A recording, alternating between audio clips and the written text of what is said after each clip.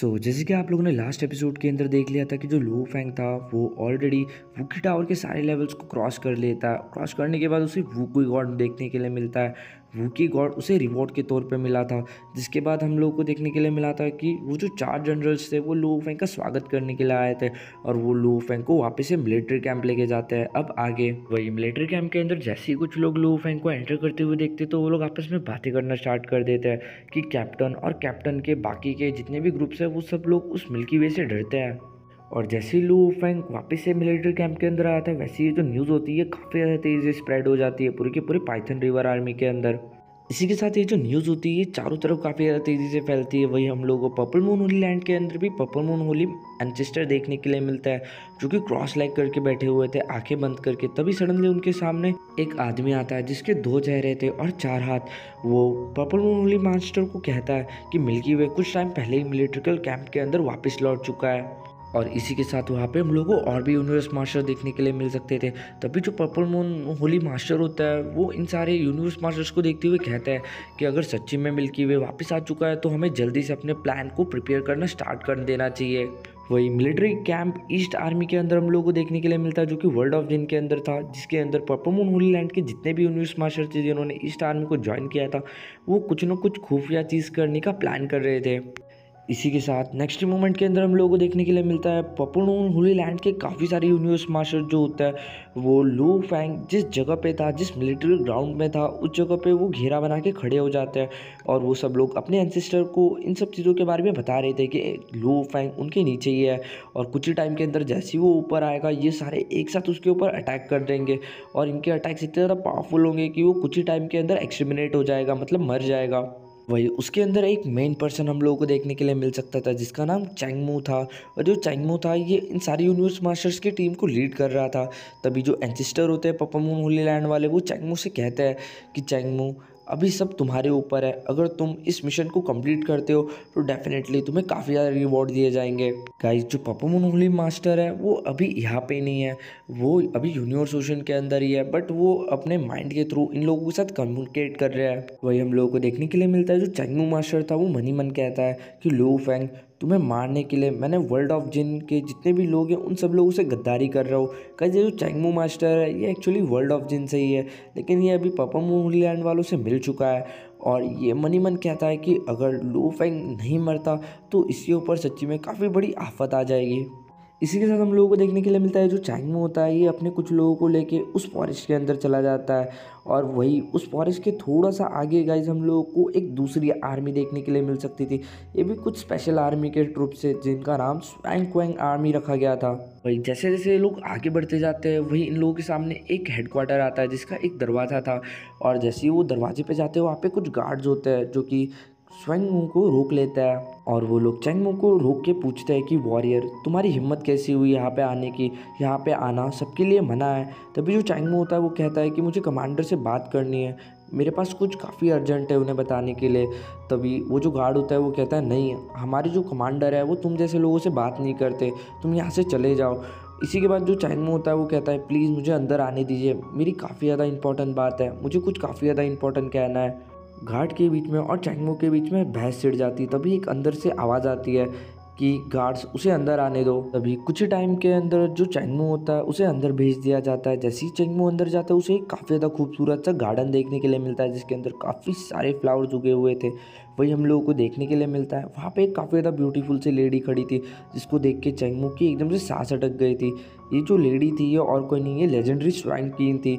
का जो चार जनरल कमांडर्स है, उन्हीं के अंदर से ये एक मोस्ट पावरफुल जनरल कमांडर है। और जो स्वाइन क्वीन आर्मी है, जो कि इस एरिया में काफ़ी ज़्यादा स्पेशल ट्रूप माने जाते हैं, इस ट्रूप्स को भी स्वाइन क्वीन के द्वारा ही स्टेबलाइज किया गया था। इसी के बाद जो ट्रैंगू होता है, वो स्वाइन क्वीन की तरफ़ देखता है और लाल टपका रहा होता है, तभी अचानक से वो अपने होश में आता है और स्वाइन क्वीन के सामने झुक जाता है और कहता है कि, मुझे आपसे काफ़ी ज़्यादा ज़रूरी बात करनी है। तभी स्वयं किंग कहती है हाँ मुझे भी जानना है कि ऐसी क्या इतनी ज़्यादा ज़रूरी बात है कि तुम उस गार्ड से फाइट कर रहे थे अंदर आने के लिए। और उसके बाद वो कहती है, अगर तुम्हारी बात मुझे बेतुका लगी तो मैं तुम्हें डायरेक्टली मौत की सज़ा सुना दूँगी।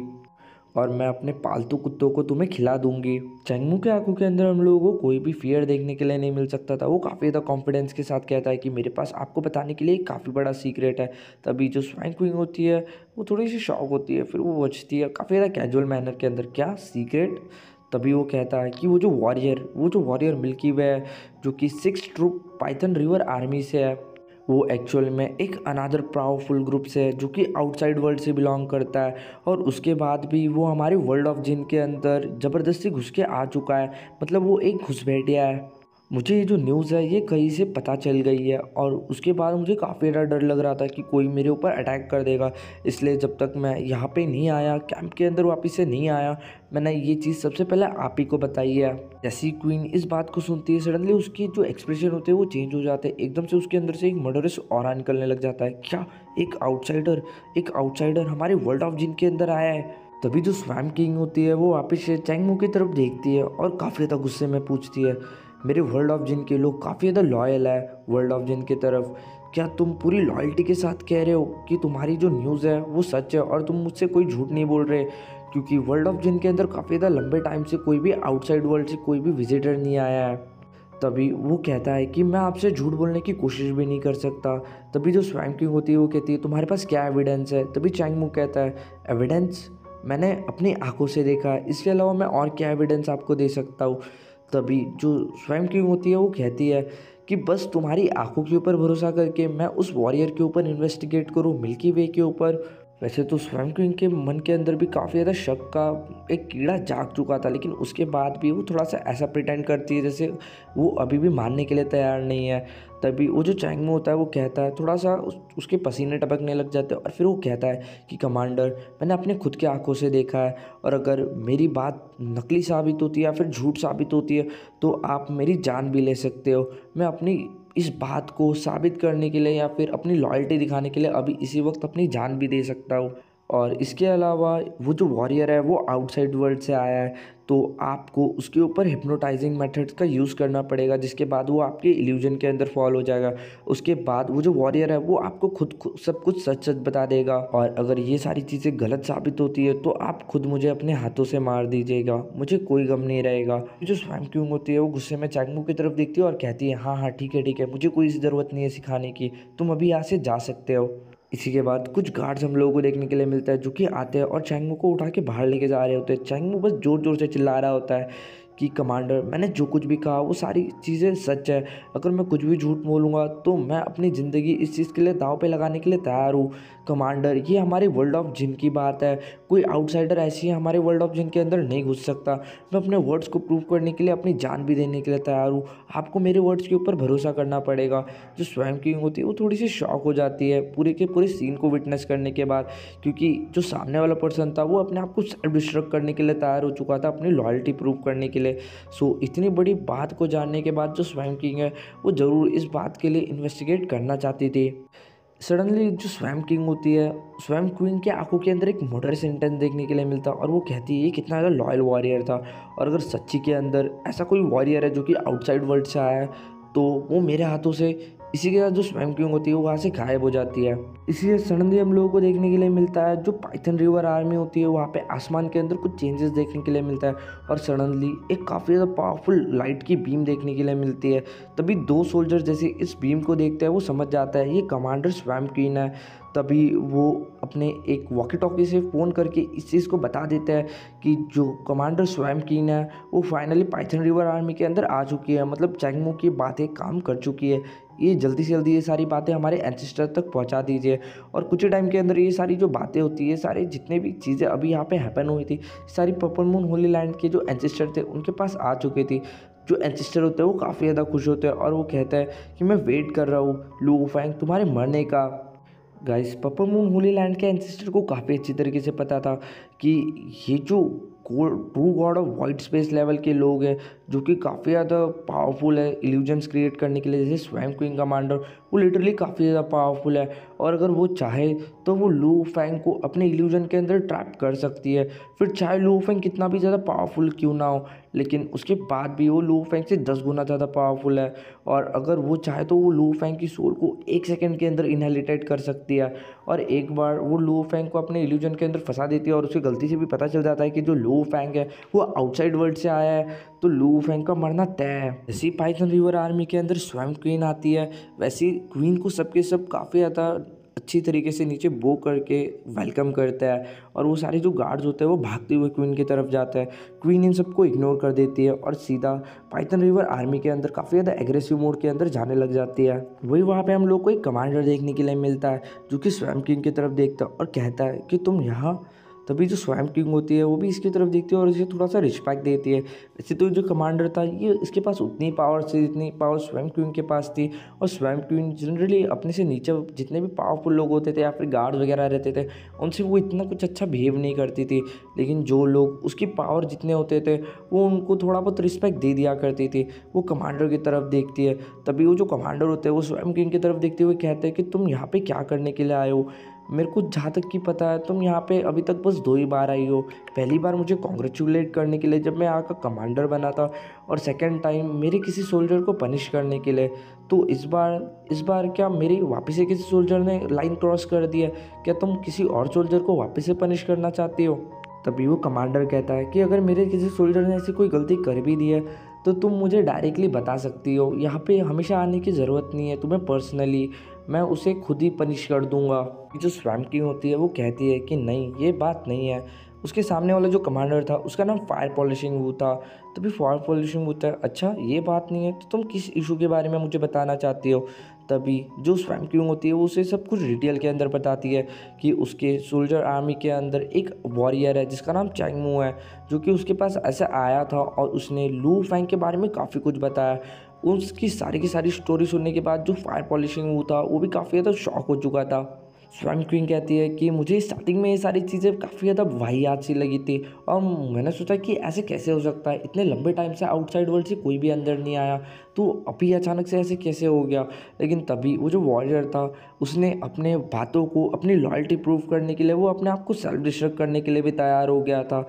सो मैं उसकी बातों को इसी तरीके से जाने नहीं दे सकती। फायर पॉलिशिंग मूवी एक काफ़ी ज़्यादा डीप थिंकिंग के अंदर चला जाता है। फिर वो कहता है कि हाँ मेरे अंडर में सोल्जर मिल्की वे नाम का एक सोल्जर तो है। रुको, मैं देखता हूँ। मुझे फॉलो करो। इसके बाद फायर पॉलिशिंग वो आगे चले जाता है और उसको फॉलो करते हुए स्वयं की, उसके पीछे चली जाती है। इसी के बाद हम लोग को देखने के लिए मिलता है, क्योंकि जो फायर पॉलिशिंग वो था, वो पाइथन रिवर आर्मी का कमांडर था। तो उसे कुछ ही टाइम के अंदर पता चल जाता है कि जो लू फैंग है, वो किस आइलैंड के ऊपर है। वो सडनली लू फैंग के आइलैंड के ऊपर टेलीपोर्ट हो जाता है। वही हम लोग को लू फैंग देखने के लिए मिलता है, जो कि अभी भी अपनी मोशा बॉडी के ऊपर फोकस करके बैठा हुआ था। वो अपनी शिवू विंग्स के बारे में पढ़ने की कोशिश कर रहा था। इसी के साथ साथ वुकी टावर के अंदर लू फैंग ने काफ़ी सारी ब्लेड टेक्निक सीखी थी। और उसी के अंदर से एक ब्लेड टेक्निक का नाम उसने नाइन डेज़ पाद भी रखा था। तो वो उन सारी चीज़ों को और अच्छी तरीके से समझने की कोशिश कर रहा था और वो अपनी शिव विंग्स के साथ उन सारी चीज़ों को मर्ज करना चाहता था। और इन सारी चीज़ों को करने के लिए जो लू फैंग था, वो कुछ स्ट्रेंथ्स के इस्तेमाल कर रहा था, कुछ स्पेशल पावर के इस्तेमाल कर रहा था और ये सारी जो स्पेशल पावर थी, ये उसे his majesty of golden king ने दी थी। सडनली लू फैंग को दो काफ़ी ज़्यादा पावरफुल रिपल्स फील होते हैं, जो कि उसकी तरफ़ काफ़ी ज़्यादा तेज़ी से आ रहे थे। कुछ ही टाइम के बाद दो बींग्स जो होते हैं, वो उसके सामने आगे खड़े हो जाती है, जिसके अंदर एक काफ़ी ज़्यादा ब्यूटीफुल सी वूमेन थी और दूसरे उसके कमांडर थे लू फेंग इनको देख के थोड़ा सा शॉक हो जाता है क्योंकि सडनली जैसे ये लोग नीचे आए थे, आसपास का जो पूरा का पूरा एरिया था, उसके अंदर एक वाइट स्पेस फॉर्म हो चुका था। लू फेंग इनको देखते हुए समझ जाता है और इनके और को देखते हुए भी वो कहता है कि ये तो true god of white space है करके। वो समझ नहीं आ रहा था कि अचानक से वो एक ऑर्डिनरी से एक सोल्जर को देखने के लिए इस तरीके से यहाँ पे क्यों आएँगे? और अभी तक लू फैंग ने इतना भी कोई बड़ा काम नहीं कर दिया था कि लू फैंग का स्टेटस इतना ज़्यादा बड़ा हो चुका हो कि लू फैंग कमांडर के साथ इस तरीके से बात करें। मतलब गाइज़ अभी तक ये छोटे मोटे कमांडर है, इन लोगों को पता नहीं है कि लू फैंग ने वो के टावर के अंदर से जिन बैच को हासिल कर लिया है। तभी ये जो फोर्स था इनके आने का, ये काफ़ी ज़्यादा पावरफुल था और ये इतना ज़्यादा पावरफुल फोर्स था कि लो फैंग अपने घुटनों के ऊपर झुक जाता। अगर उसके पास his majesty of golden king की पावर नहीं होती लेकिन उसके बाद भी, इनके आने के बाद भी जो लू फैंग था, वो छाती चौड़ी करके खड़ा था। अभी लू फैंग के हाथों के अंदर कुछ डिफरेंट पावर थी। वर्ल्ड ऑफ़ जिन के अंदर, किसी के अंदर इतनी हिम्मत नहीं थी कि वो लू फैंग को छू भी सके। लेकिन ये जो छोटे मोटे कमांडर्स थे, अभी तक इन लोगों को लू फैंग के बारे में नहीं पता था। और लू फैंग जैसे किसी नॉर्मल सोल्जर को मारना तो उनके बाएँ हाथ का काम था। वो इवन उन्हें बिना कुछ सोचे समझे भी मार सकते थे। तभी जो स्वाइम किंग होती है, वो लो फाइन की तरफ़ देखती है और फिर फायर पॉलिशिंग वो कमांडर की तरफ़ देखती है, वो कहती है कि फायर पॉलिशिंग वो कमांडर देखो तुम्हारे इस लॉ मास्टर सोल्जर को, ये हमें कोई भी रिस्पेक्ट शो नहीं कर रहा, इसने हमें ग्रीड भी नहीं किया। ये जो औरत थी, इसका थोड़ा सा ईगो हट हो गया था कि नॉर्मली सोल्जर जो होता है, वो उसके आगे पीछे घूमता है। लेकिन स्वैम क्वीन को देखने के बाद भी जो लो फैंक था, वो काफ़ी ज़्यादा एटीट्यूड के साथ खड़ा था। और ये जो स्वैम क्वीन थी, ये काफ़ी ज़्यादा खूबसूरत थी और इसकी खूबसूरती के कारण ही जो फोर मेन जनरल्स थे मतलब four eternal true god generals वो भी इसे काफ़ी ज़्यादा मतलब अच्छी तरीके से ट्रीट किया करते थे। आप लोगों को पता होगा कि जो जनरल्स है, इनका सबसे बड़ा स्टेटस है इस वर्ल्ड ऑफ़ जिन के अंदर after his majesty of golden king और his majesty of golden king तो ज़िंदा है नहीं तो डेफिनेटली ये चार जनरल जी पूरे के पूरे वर्ल्ड ऑफ़ जिन को चलाते हैं। इसी के बाद फायर पॉलिशिंग वो जो होता है, वो लूफेंग की तरफ़ देखते हैं और कहता है सोल्जर मिल्की वे क्या तुम अपने सारे मैनर्स को भूल चुके हो? क्या तुम ये भी भूल चुके हो कि हमें देख के तुम्हें क्या करना चाहिए? इनकी जो आवाज़ थी, वो लूफेंग के कानों के अंदर काफ़ी ज़्यादा तेज़ी से गूंजना शुरू हो जाती है। वैसे देखा जाए तो ये जो कमांडर्स थे, इनके पास काफ़ी ज़्यादा पावर्स थी। ये आराम से कोई भी ऑर्डर पास कर सकते थे लूफेंग को मरवाने के लिए। अगर वो किसी भी चीज़ से लू फैंग से ऑफेंड होता है, लेकिन इन्हें अभी तक घंटा भी पता नहीं था कि लू फैंग ऑलरेडी उनसे लाख गुना ऊपर का स्टेटस होल्ड करता है। इवन जो फोर जनरल्स थे, जो कि his majesty of golden king को पूरी तरीके से डेडिकेटेड है और वर्ल्ड ऑफ़ जिनके सबसे ज़्यादा पावरफुल लोग हैं, वो भी लू फैंग के सामने पूरी तरीके से झुके हुए हैं। और वो जो चार जनरल्स थे, उनके अलावा अभी तक इस चीज़ के बारे में किसी को भी नहीं पता कि लू फेंग ने वुकी टावर के टास्क को कंप्लीट कर लिया है और उसे जिन टाइटल भी मिल चुका है। Even though his majesty of golden king भी नहीं चाहते थे कि लू फेंग इन सब चीज़ों को पब्लिकलाइज करे वर्ल्ड ऑफ़ जिन के अंदर कि वो इतनी ज़्यादा पावरफुल अथॉरिटी क्लेम करता है। और इवन ये सब होने के बाद भी जो चार जनरल्स थे, जिनके अंदर से एक जनरल ने लू फैंग को पूछा भी था, क्या लू फैंग इस अपने ये जो नया उसको टाइटल मिला है, क्या वो इस चीज़ को पब्लिकलाइज करना चाहता है? अगर वो इस चीज़ को पब्लिकलाइज करता है तो ऑटोमेटिकली जो लू फैंग की अथॉरिटी है, वो इन चार जनरल्स के बराबर में हो जाएगी या फिर इनसे भी ज़्यादा ऊपर हो जाएगी। लेकिन लू फैंग भी मना कर देता है उनको इन बारे में किसी को भी बताने के लिए। लू फैंग ने ये सारी चीज़ें इसलिए की थी क्योंकि लू फैंग की ओपिनियन के अंदर बात ऐसी थी कि वो वर्ल्ड ऑफ़ जिन के अंदर बस एक गेस्ट बन के आया था।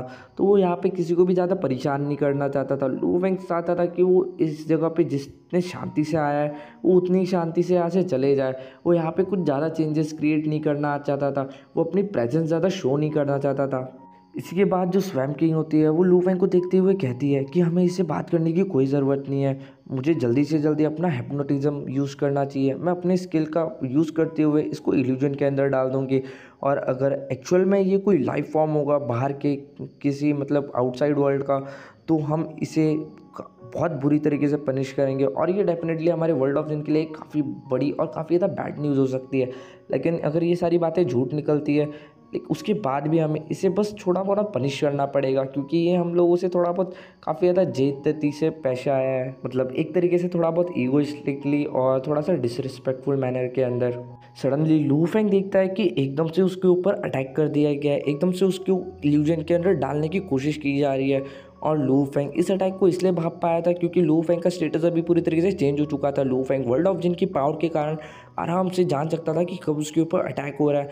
और जैसे ही उसको ये चीज़ पता चलती है, उसे काफ़ी ज़्यादा बुरा लगता है कि ये सामने ये जो दो कमांडर्स हैं, उन्होंने बिना उससे कोई बात किए या फिर बिना किसी चीज़ के डायरेक्टली उसके ऊपर अटैक कर दिया, बिना उसे वॉर्न किए सडनली जो लो फैंग होता है, वो वर्ल्ड ऑफ़ जिन की पावर्स को ट्रिगर्ड करता है। एकदम से आसमान के अंदर से एक ज़ोर की आवाज़ आती है और लू फैंग ज़ोर से चिल्लाता है ब्रेक और एकदम से जो इल्यूजन लो फैंग के ऊपर फॉर्म हो रहा था, वो एकदम से पूरी तरीके से ब्रेक हो जाता है। और ये जो इल्यूजन था, इसे ब्रेक करने के लिए एक काफ़ी ज़्यादा बड़ा सा हेवनली पाम देखने के लिए मिलता है, जो कि हवा के अंदर फॉर्म हो गया था और वो सडनली जैसे ही इस इल्यूजन से टकराता है, एक ज़ोर का बैंग साउंड होता है और वो जो इल्यूजन था, वो पूरी तरीके से ख़त्म हो चुका था।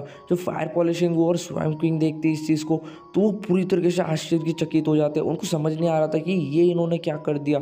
लू फेंग, उनकी नज़रों में बस एक नॉर्मल सा लॉ मास्टर था, लेकिन इसने स्वयं क्वीन के इल्यूजन को ब्रेक कर दिया। ये कैसे पॉसिबल है? बस इतना ही नहीं। जैसे ही वो जो जाइंट पाम था, उसने उस इल्यूजन को ब्रेक किया था। उसी के बाद वो जो जाइंट पाम होता है, वो डायरेक्टली फायर पॉलिशिंग वो और स्वयं किंग के ऊपर आके गिर जाता है।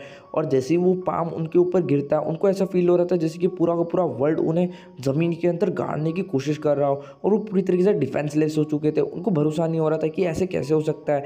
ये दोनों, दो true god of white space level के वॉरियर्स है। और इनको इस तरीके से ज़मीन के ऊपर पूरी तरीके से लेटा दिया। बस एक लॉ मास्टर ने, ऐसे कैसे हो सकता है करके? इसी के बाद जो लो फैंग होता है उसे काफ़ी ज़्यादा ज़ोर से गुस्सा आता और वो ज़ोर से चिल्लाता है गेट आउट एस होल इसी के बाद हम लोगों को देखने के लिए मिलता है फायर पॉलिशिंग वो और वो जो ब्यूटीफुल से लेडी होती है स्क्विंग स्वैम वो थोड़ी सी पीछे उड़ती हुए जाती है लो फैंग की आवाज़ के कारण और एकदम से हेवन के अंदर से हम लोगों को कुछ चेंज देखने के लिए मिलती है, जो कि इन दोनों को पूरी तरीके से बाँध देती है। इस वक्त फायर पॉलिशिंग वो और वो जो स्वैम क्वीन थी, उसका अकड़ पूरी तरीके से ख़त्म हो चुका था। वो पूरी तरीके से सॉरी स्टेट के अंदर आ चुके थे। उनको भरोसा नहीं हो रहा था कि ये किससे पंगा ले लिया इन लोगों ने। और अभी उन लोगों को लू फैंग को देखते हुए लग रहा था कि लू फैंग ज़रूर कोई एटर्नल ट्रू गॉड है, इसलिए वो इतना ज़्यादा पावरफुल है। अभी उन लोगों को एक चीज़ कंफर्म हो जाती है, वो लोग सोचते हैं, ये बंदा ज़रूर बाहर से है, क्योंकि अगर ये एक एटर्नल ट्रू गॉड है तो इन लोगों को पता होना चाहिए था। वैसे तो एक eternal true god eternal true god है या नहीं, ये बस एक एटर्नल ट्रू गॉड ही बता सकता है, लेकिन ये लोग इस चीज़ को इसलिए क्लेम कर रहे थे क्योंकि डेफिनेटली ये लो फेंग से काफ़ी ज़्यादा वीक थे। और अगर कोई पर्सन एक एटर्नल ट्रू गॉड लेवल का वॉरियर बनता है वर्ल्ड ऑफ़ जिन के अंदर, और अगर ये कोई नया वॉरियर भी होगा जो अभी अभी एटर्नल ट्रू गॉड बना है तो डेफिनेटली उससे पहले वो true god of white space level के ऊपर होगा। और आज तक उन्होंने लू फैंग के बारे में कभी कुछ नहीं सुना। इसका मतलब ये जो बंदा है, ये पूरी तरीके से अननोन था उनके लिए। तो ज़रूर ये आउटसाइड वर्ल्ड से ही आया है। इसी के बाद जो लू फैंग होता है, वो दो कदम आगे चलते हुए जाता है। और इन दोनों की तरफ़ देखते हुए काफ़ी ज़्यादा गुस्से में कहता है कि, तुम यहाँ पे क्यों आए हो? और तुमने मेरे ऊपर क्यों अटैक किया? क्या तुमने मेरे ऊपर बस इसलिए अटैक किया क्योंकि मैं तुम्हारे साथ ज़्यादा रिस्पेक्टफुल वे में नहीं पेश आया? ये बात जो स्वयं की होती है वो लूफेंग की तरफ़ देखती है और कहती है कि तुम कौन हो करके? एक लॉ मास्टर एक लॉ मास्टर इतना ज़्यादा पावरफुल नहीं हो सकता। क्या सच में इतना ज़्यादा powerful great being Python river army के अंदर है? मुझे भरोसा नहीं हो रहा। तुम कोई और हो। एक्चुअल में कहीं दोनों के दोनों थोड़ा सा टाइम पास करने की कोशिश कर रहे थे, क्योंकि लू वेंग चाहता था उनको एक सेकंड में मार सकता था। ये लोग थोड़ा सा टाइम पास करके जल्दी से जल्दी एक मैसेज जनरल को भेजना चाहते थे ईस्ट आर्मी के। लोगों को लगता था क्योंकि ये लोग ईस्ट आर्मी कैंप के अंदर है तो जो जनरल हारमोनियस स्नो है, वो भी ईस्ट आर्मी कैंप के अंदर ही होगा, और जैसे उनको ये मैसेज मिलेगा, वो जल्दी जल्दी यहाँ पे आ जाएँगे। और अगर वो यहाँ पे आते हैं तो वो लू फैंग को जल्दी जल्दी पकड़ सकता है। अभी सडनली एक डोर हम लोग को अपियर होते हुए देखने के लिए मिलता है वाइट स्पेस के अंदर और इस वॉइड स्पेस के डोर के अंदर से सडनली एक सिल्वर आर्मर वाला, एक काफ़ी ज़्यादा पावरफुल वॉरियर बाहर आता है। और ये बंदा और कोई नहीं, ये बंदा जनरल था जनरल हेरमनेसनो स्नो और जैसी स्वैंकिंग और फायर पोल्यूशन वो जब जनरल को देखते हैं, वो काफ़ी ज़्यादा खुश हो जाते हैं और वो ग्राउंड के ऊपर नील कर जाते हैं और अपना रिस्पेक्ट उनको शो करता है। साथ जैसे ही जो जनरल हेरमनियस स्नो होता है, वो ज़मीन के ऊपर रैंड करता है, वो लू फैंग को देखते ही स्माइल करते हैं और कहते हैं लू फैंग मिल्की वे तुम यहाँ पे इसी के बाद जैसे ही वो अपने सामने देखते कि स्वैम क्विंग और फायर पॉलिशिंग वो यहाँ पे बंधे हुए, पड़े हुए हैं तो वो उनकी तरफ़ गुस्से में देखते हैं और कहते हैं कि, तुम यहाँ पे क्या कर रहे हो करके? जब ये जो स्वयं क्वीन होती है और फायर पॉलिशिंग वो होता है, जब वो देखते हैं कि जनरल हेनमने स्नो लू फैंग से इतना प्यार से बात कर रहे हैं, जैसे कि वो उनके दोस्त हो तो वो पूरी तरीके से शॉक हो जाते हैं, क्योंकि उनको लगा था कि वो यहाँ पे आते ही लू फैंग से फाइट करना स्टार्ट कर दें, क्योंकि लू फैंग ये घुसबैठिया है। जो स्वयं की होती है, वो जनरल हेनोमे स्नो की तरफ़ देखती हुई कहती है कि जनरल ये जो सोल्जर है मिल्की वे, ये स्पाई है, ये घुसबैठिया है, ये ज़रूर आउटसाइड वर्ल्ड से आया है, आपको केयरफुल रहना पड़ेगा, इसके बहकावे में मत आइए। तभी फायर पॉलिशिंग वो भी कहता है हाँ ये काफ़ी ज़्यादा पावरफुल है, और इसके पास इटरनल ट्रू गॉड की पावर है। और ये बंदा चाहे कुछ भी बोले, इसकी बातों के ऊपर भरोसा करने की बिल्कुल कोशिश में मत करना। ये बस दिखने में एक लॉ मास्टर है, लेकिन ये काफ़ी ज़्यादा पावरफुल है। ये बात जो जनरल सहन में स्नो होता है, वो काफ़ी ज़्यादा गुस्से में फायर पॉलिशिंग वो और स्वैम किंग की तरफ़ देखता है और गुस्से में बोलता है, तुम अपना मुँह बंद रखो, तुम्हें पता भी है क्या तुम क्या कह रहे हो? तुम्हें मुझे कह बताने की कोई ज़रूरत नहीं है कि मुझे क्या करना चाहिए। और रही बात इनकी, ये लॉर्ड मिल्की वे तुम इनके सामने बात करने के लिए भी क्वालिफाइड नहीं करते। क्या तुम्हें पता भी है कि तुमने कितनी बड़ी गलती की है इनके सामने आके? होप करो कि ये तुम्हारी जान ना ले। इसके बाद जैसे स्वयं किंग और फायर पॉलिशिंग वो लू फैंग की तरफ़ देखते हो पूरी तरीके से शॉक हो जाता है, क्योंकि उनको भरोसा नहीं हो रहा था, क्योंकि उनके जनरल जो कि सबसे ज़्यादा हाईएस्ट पोजीशन पूरे के पूरे वर्ल्ड ऑफ़ जिनके अंदर होल्ड करते हैं वो लू फेंग को लॉर्ड कह के पुकार रहे थे। उनको भरोसा नहीं हो रहा था कि पूरे वर्ल्ड ऑफ़ जिन के अंदर सबसे ज़्यादा हाईएस्ट पोजीशन तो जनरल की होती है। तो ये बंदा है कौन आखिर में?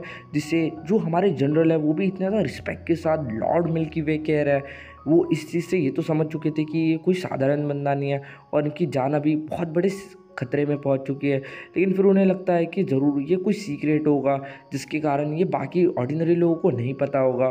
बाद हम लोगों को देखने के लिए मिलता है जो जनरल हैरमन स्नो होता है और लू फैंग होता है, ये दोनों आपस में एक दूसरे के साथ बात करने लग जाते हैं। लेकिन ये दोनों क्या बोल रहे थे? इसके बारे में एक वर्ड भी जो ये जो स्वैम किंग और फायर पॉलिशिंग वो है, ये सुन नहीं पाते और ना ही ये सुनने की कोशिश करते क्योंकि अभी इन लोगों फटके हज़ार हो चुके थे। इनको डर था कि अभी इनकी एक छोटी सी गलती भी उनको मरवा सकती है, क्योंकि ये जो सामने वाला बंदा है, मिल्की वे, ये कोई ऑर्डिनरी पर्सन नहीं है। तभी जो हैनोमरस स्नो जनरल होता है, वो लूफिंग से कहता है कि, लॉर्ड, मैंने आपको कहा था कि आप अपनी आइडेंटिटी को पब्लिकलाइज कर दीजिए। अगर आपने अपनी ट्रू आइडेंटिटी को पब्लिकलाइज कर दिया तो आप एक सील्ड ग्रेड भी होने के नाते कोई भी पूरे के पूरे वर्ल्ड ऑफ़ जिनके अंदर आपको डिसरिस्पेक्टफुल नहीं कर सकता मतलब बदतमीज़ी से नहीं पेश आ सकता। तभी लू फैंग कहता है, नहीं, मुझे कोई ज़रूरत नहीं है इन सब चीज़ों की। के बाद जो जनरल होता है, वो कुछ भी नहीं कहता लू फैंग के कहने के बाद। उसी, बस वो इतना कहता है कि अच्छा तो आप इन लोगों के साथ क्या करने वाले हैं? वर्ल्ड ऑफ़ जिन के अंदर दो true god of white space level के जो लोग हैं, वो कुछ भी नहीं है। अगर लू फेंग चाहता तो वो आराम से उन्हें मार सकता था और लू फेंग को कोई भी नहीं रोक सकता उन्हें मारने के लिए। इसके बाद लू फैंग हरमने स्नो को कहता है कि उनको पूछो कि वो यहाँ पे क्यों आया है करके।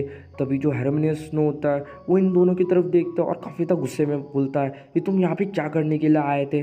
तभी वो दोनों अपनी पूरी की पूरी कहानी सुनाने लग जाते कि एक सोल्जर आया था चेंगमू नाम का जिसने इन लोगों को इस सारी बारे में इंफॉर्मेशन दी कि जो लो फैंग है, वो दूसरे मतलब आउटसाइड वर्ल्ड का कोई क्रिएचर है और वो हमारे इसके अंदर आया है मन के आया है। और वो इवन इस चीज़ को प्रूव करने के लिए अपनी जान तक देने के लिए तैयार था। जैसे जनरल हेनोमिनियस नो इन सब चीज़ों को सुनता है तो वो इन सब चीज़ों को पूरी तरीके से इग्नोर कर देता है, क्योंकि ये जो जनरल था, इसको काफ़ी अच्छी तरीके से पता था कि जो लू फैंग है, उसने वुकी टावर के अंदर सारे के सारे लेवल्स को क्रॉस करने के बाद ही जिन टाइटल मिला होगा।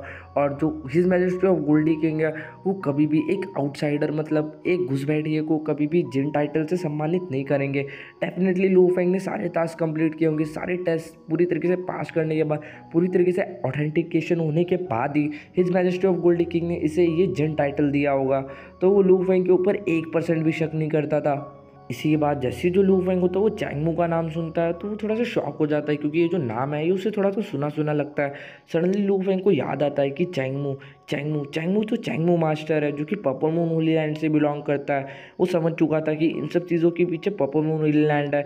उन्होंने सोचा था कि लो फैंग की कोई भी औकात नहीं है वर्ल्ड ऑफ़ जिन के अंदर, और वो थोड़ी बहुत आग लगा के आराम से लो फैंग को यहाँ पर मरवा सकते थे। लेकिन ये सारी चीज़ें सोचने और समझने के बाद जो लो फैंग होता है, उसे काफ़ी ज़्यादा गुस्सा आ जाता है, और वो कहता है कि पपर मून होली लैंड तुमने मुझे मजबूर कर दिया। अभी मैं पूरे के पूरे पर्पल होली लैंड का नामो निशान मिटा दूँगा, वर्ल्ड ऑफ़ जिन से। पर्पल न्यूजीलैंड ने बार बार अपनी लाइंस को क्रॉस किया था और ऑलरेडी लू फेंग की दिमाग की नक्स सनक चुकी थी पहले। और उसके बाद भी ये और लू फैंग को गुस्सा दिलाने का काम कर रहे थे। और अभी तो पानी सर के ऊपर जा चुका था और अभी लू फैंग डेफिनेटली इन लोगों को नहीं छोड़ने वाला था। लू फैंग सोचता है कि लकीली अगर आज उसके पास कोई टाइटल नहीं होता वर्ल्ड ऑफ़ जेन का तो आज वो पूरी तरीके से अनप्रिपेयर्ड होता और ऑफ़ गार्ड पकड़ा जाता और ये दोनों के दोनों लू फैंग को कुछ ही सेकेंड्स के अंदर मार देते। और ये काफ़ी ज़्यादा खतरनाक सी बात हो सकती थी। वो तो अच्छी बात थी कि लो फैंग को ऑलरेडी जिन टाइटल मिल चुका था, क्योंकि जो स्वैम क्वीन थी, वो लू फैंग के ऊपर इल्यूजन परफॉर्म कर रही थी। तो लू फैंग पूरी तरीके से मर जाता। इवन लू फैंग वापस से रिकॉग्नेट भी नहीं कर पाता। मतलब लू फैंग को दोबारा ज़िंदा करने की कोई पॉसिबिलिटीज़ ही नहीं थी। और अगर लो फैंग सच्ची में ऐसी किसी प्रॉब्लम के अंदर फंस जाता तो लो फैंग के पास बस एक ही चांस बचता। मतलब एक ही रास्ता बचता और वो भी उसे कुछ ही कुछ ही सेकंड्स के अंदर यूज़ करना पड़ता, वो है अपने आप को सेल्फ डिस्ट्रक्ट करने का, क्योंकि इसी तरीके से वो अपनी एक बॉडी को कम से कम डिस्ट्रॉय करके अपने आप को यहाँ से बचा तो सकता था, और कम से कम उसकी एक बॉडी डिस्ट्रॉय होगी तो दूसरी बॉडी ज़िंदा तो रहेगी, और वो टाइम रहते अपनी दूसरी बॉडी को वापस से रिकॉग्नाइट कर सकता था, लेकिन इन सब चीज़ों के अंदर एक चीज़ ये होती कि वो जैसे ही अपनी बॉडी को डिस्ट्रॉय करता, उसके सारे के सारे ट्रेजर्स खो जाते, जैसे कि बोट ऑफ़ मसलियम ब्लड गोस्ट ब्लेड और और भी काफ़ी सारे ट्रेजर्स और ये सारे ट्रेजर्स खोने के बाद डेफिनेटली लो फैंग को काफ़ी ज़्यादा बुरा लगता। और इवन गाइज़ इस चीज़ की भी काफ़ी ज़्यादा कम चांसेस है कि लो फैंग अपने आप को सेल्फ डिस्ट्रक्ट भी कर पाता, क्योंकि ये जो true god of white space level के वॉरियर होते हैं, ये काफ़ी ज़्यादा पावरफुल होता है। ये पलक झपकते ही लो फैंग को अपने इल्यूजन के अंदर ट्रैप कर लेते हैं। लो फैंग को इतना टाइम भी नहीं मिलता कि लो फैंग अपने आप को इनके इल्यूजन से बचा सके या फिर अपने आप को सेल्फ डिस्ट्रक्ट कर सके। इसी के बाद जो हेरोमिनस स्नो होता है जनरल वो लूफेंग की तरफ़ देखता है और काफ़ी ज़्यादा पोलाइटली कहता है कि स्वैम किंग और फायर पॉलिशिंग वो ये दोनों के दोनों कमांडर है। और ये थोड़े से गुस्से में थे और इनको तुम्हारी ट्रू आइडेंटिटी के बारे में नहीं पता था। इसलिए शायद से उन्होंने तुम्हारे साथ थोड़ा बहुत मिसबिहेव करने की कोशिश की होगी। और वो और कुछ बोलने वाला था, तभी लूफेंग उसको बीच में टोक देता और कहता कि तुम्हें कोई ज़रूरत नहीं है इनकी साइड लेने की और ज़्यादा चिंता करने की कोई ज़रूरत नहीं है। मैं ज़्यादा एक्सट्रीम नहीं जाने वाला, मैं इनकी ज़िंदगी नहीं लेने वाला, मैं इन्हें जान से नहीं मारने वाला। वूफेंग जनरल से कहता है कि मैं इनकी जान नहीं लेने वाला, लेकिन क्योंकि इन्होंने मेरे सर के ऊपर जाने की कोशिश की है तो डेफिनेटली मैं इनको इतना आसानी से छोड़ने भी नहीं वाला। लूफेंग का इस तरीके का और देखते हुए और इस तरीके के मेथड्स को देखने के साथ जो हेरमनियस स्नो था, वो काफ़ी ज़्यादा थोड़ा सा शौक था। वो सोच रहा था कि लूफेंग को बस कुछ ही टाइम हुआ है, इस टाइटल को गेन करने के बाद, लेकिन उसके बाद भी जो लू फैंग के मैथड्स हैं इन लोगों से डील करने के, वो काफ़ी ज़्यादा प्रोफेशनल टाइप के हैं। इसी के बाद जो लू फैंग होता है, वो जनरल को कुछ बताने लग जाता है, और वही दूसरी तरफ़ हम लोगों को वो दोनों देखने के लिए मिलता है मतलब वो स्वैम क्विंग और दूसरी तरफ़ वो दूसरा कमांडर ये दोनों एक दूसरे से बात कर रहे होते हैं। डेफिनेटली ये लू फैंग और जनरल के बीच की कन्वर्जेशन को नहीं सुन पा रहे थे। जो जो कमांडर था, वो स्वयं क्वीन से पूछता है कि स्वयं क्वीन तुम्हारे कारण मैं आज इतनी बड़ी मुसीबत के अंदर फंस चुका हूँ। क्या तुमने, तुम मेरी तरफ़ आज कौन सा मुँह लेके आई थी? तुम एक नंबर की पनौती हो करके। इसी का जो स्वयं क्यों होती है, वो कहती है कि, बस तुम्हें मुसीबत के अंदर नहीं हो, मैं भी काफ़ी बड़ी मुसीबत के अंदर हूँ। और इसी के साथ वो कहती है, मुझे क्या पता था कि ये जो बंदा है, ये इतना ज़्यादा हायर पोजीशन अज्यूम करता होगा। इवन टॉट हमारे जो जनरल जो कि सबसे ज़्यादा हाईएस्ट और मोस्ट पावरफुल है पूरे के पूरे वर्ल्ड ऑफ़ जिनके अंदर, वो भी उन्हें लॉर्ड मिल्की वे कह के पुकार रहा है। हम जितना सोच रहे हैं उससे भी ज़्यादा मिस्टीरियस है। और मैंने कभी भी नहीं सोचा था कि हम सच्ची में इतने ज़्यादा मिस्टीरियस पर्सन से मिलेंगे, कुछ इस तरीके से। उन्होंने आपस में बात करके कुछ ऐसा डिसाइड करते हैं कि इनको लगता है कि जो जिन डायनेस्टी है, वो तो ऑलरेडी काफ़ी ज़्यादा टाइम पहले ही ख़त्म हो चुकी थी। लेकिन फिर भी काफ़ी सारे लोग थे जो कि his majesty of gold king को फॉलो करते थे। और उस बैटल के अंदर काफ़ी सारे ऐसे लोग थे जो कि इन चार जनरल से भी ज़्यादा पावरफुल लोग थे। तो ज़रूर उन, उन्हीं में से कोई एक बंदा ये होगा, जिसका नाम मिल्की वे है। और ये एक सुपर ग्रेट बींग होगा। जो कि his majesty of golden king को फॉलो करता होगा। लेकिन ये जैसे तैसे करके अपने आप को ज़िंदा बचा के लेके आ गया वॉर के अंदर से।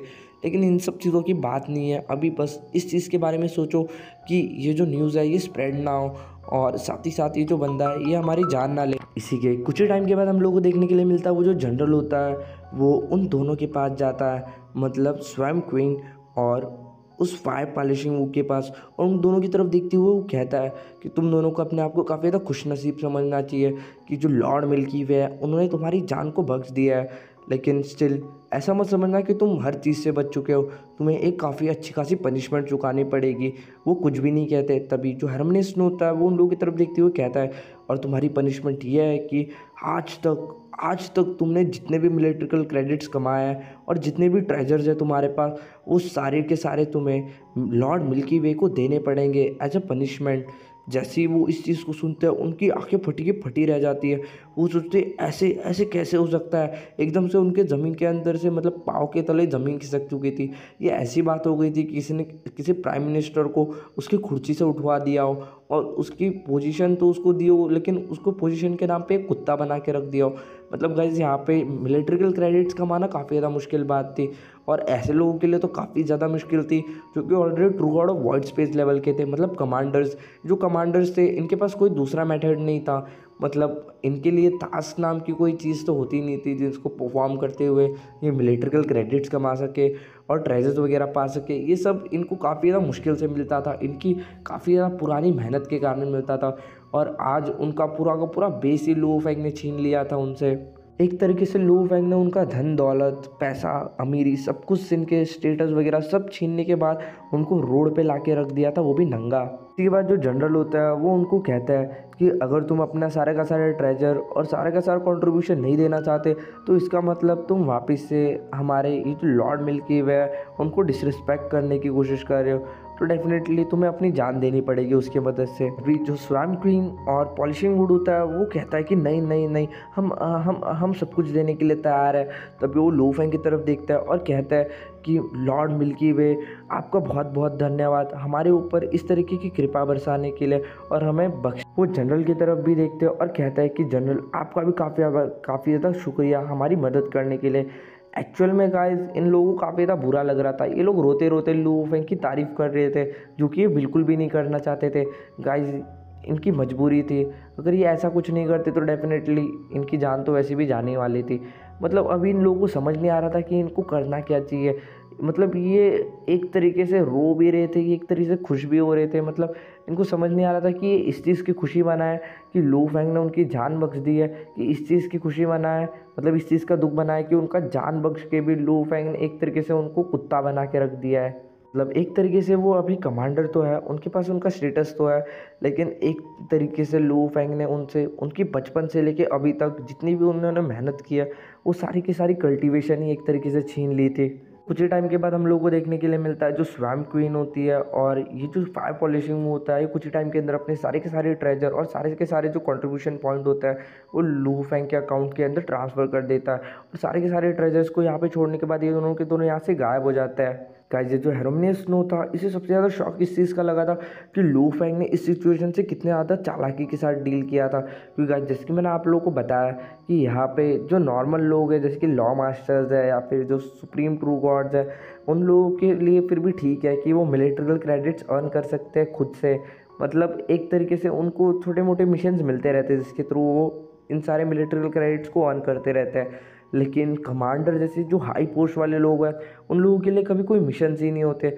उनके लिए मिलिट्रिकल क्रेडिट्स अर्न करना एक काफ़ी ज़्यादा बहुत बड़ी बात हुआ करती थी, क्योंकि डेफिनेटली उनको मिशन वगैरह नहीं मिलते तो उनके लिए कुछ भी नहीं होता।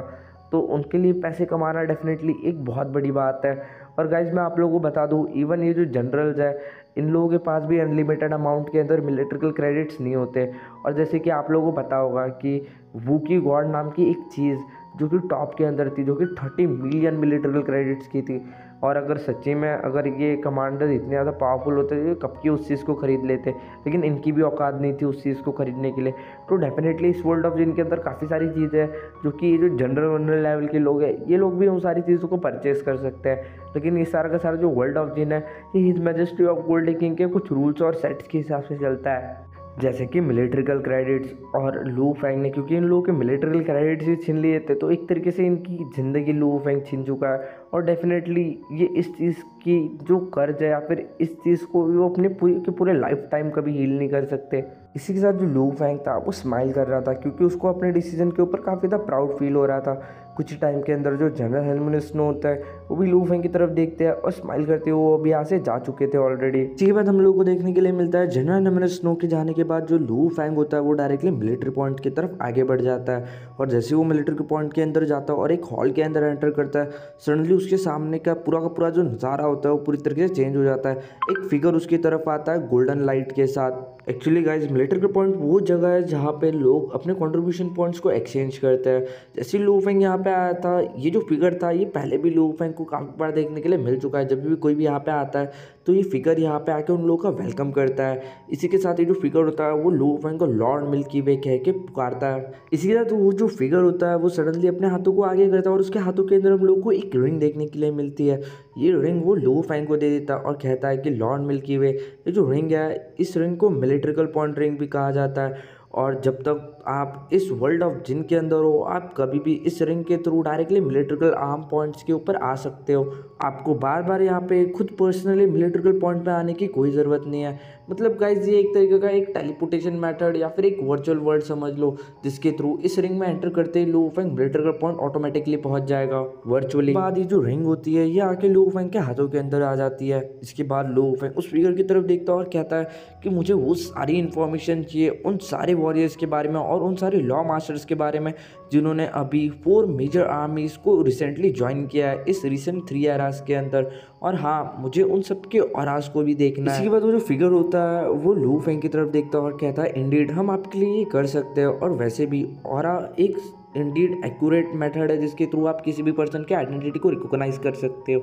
इसी के बाद वो कहता है कि लॉर्ड मिल्की वे के पास इनफ मिलिट्रिकल अथॉरिटीज़ है इस रिक्वेस्ट को एसेस करने के लिए।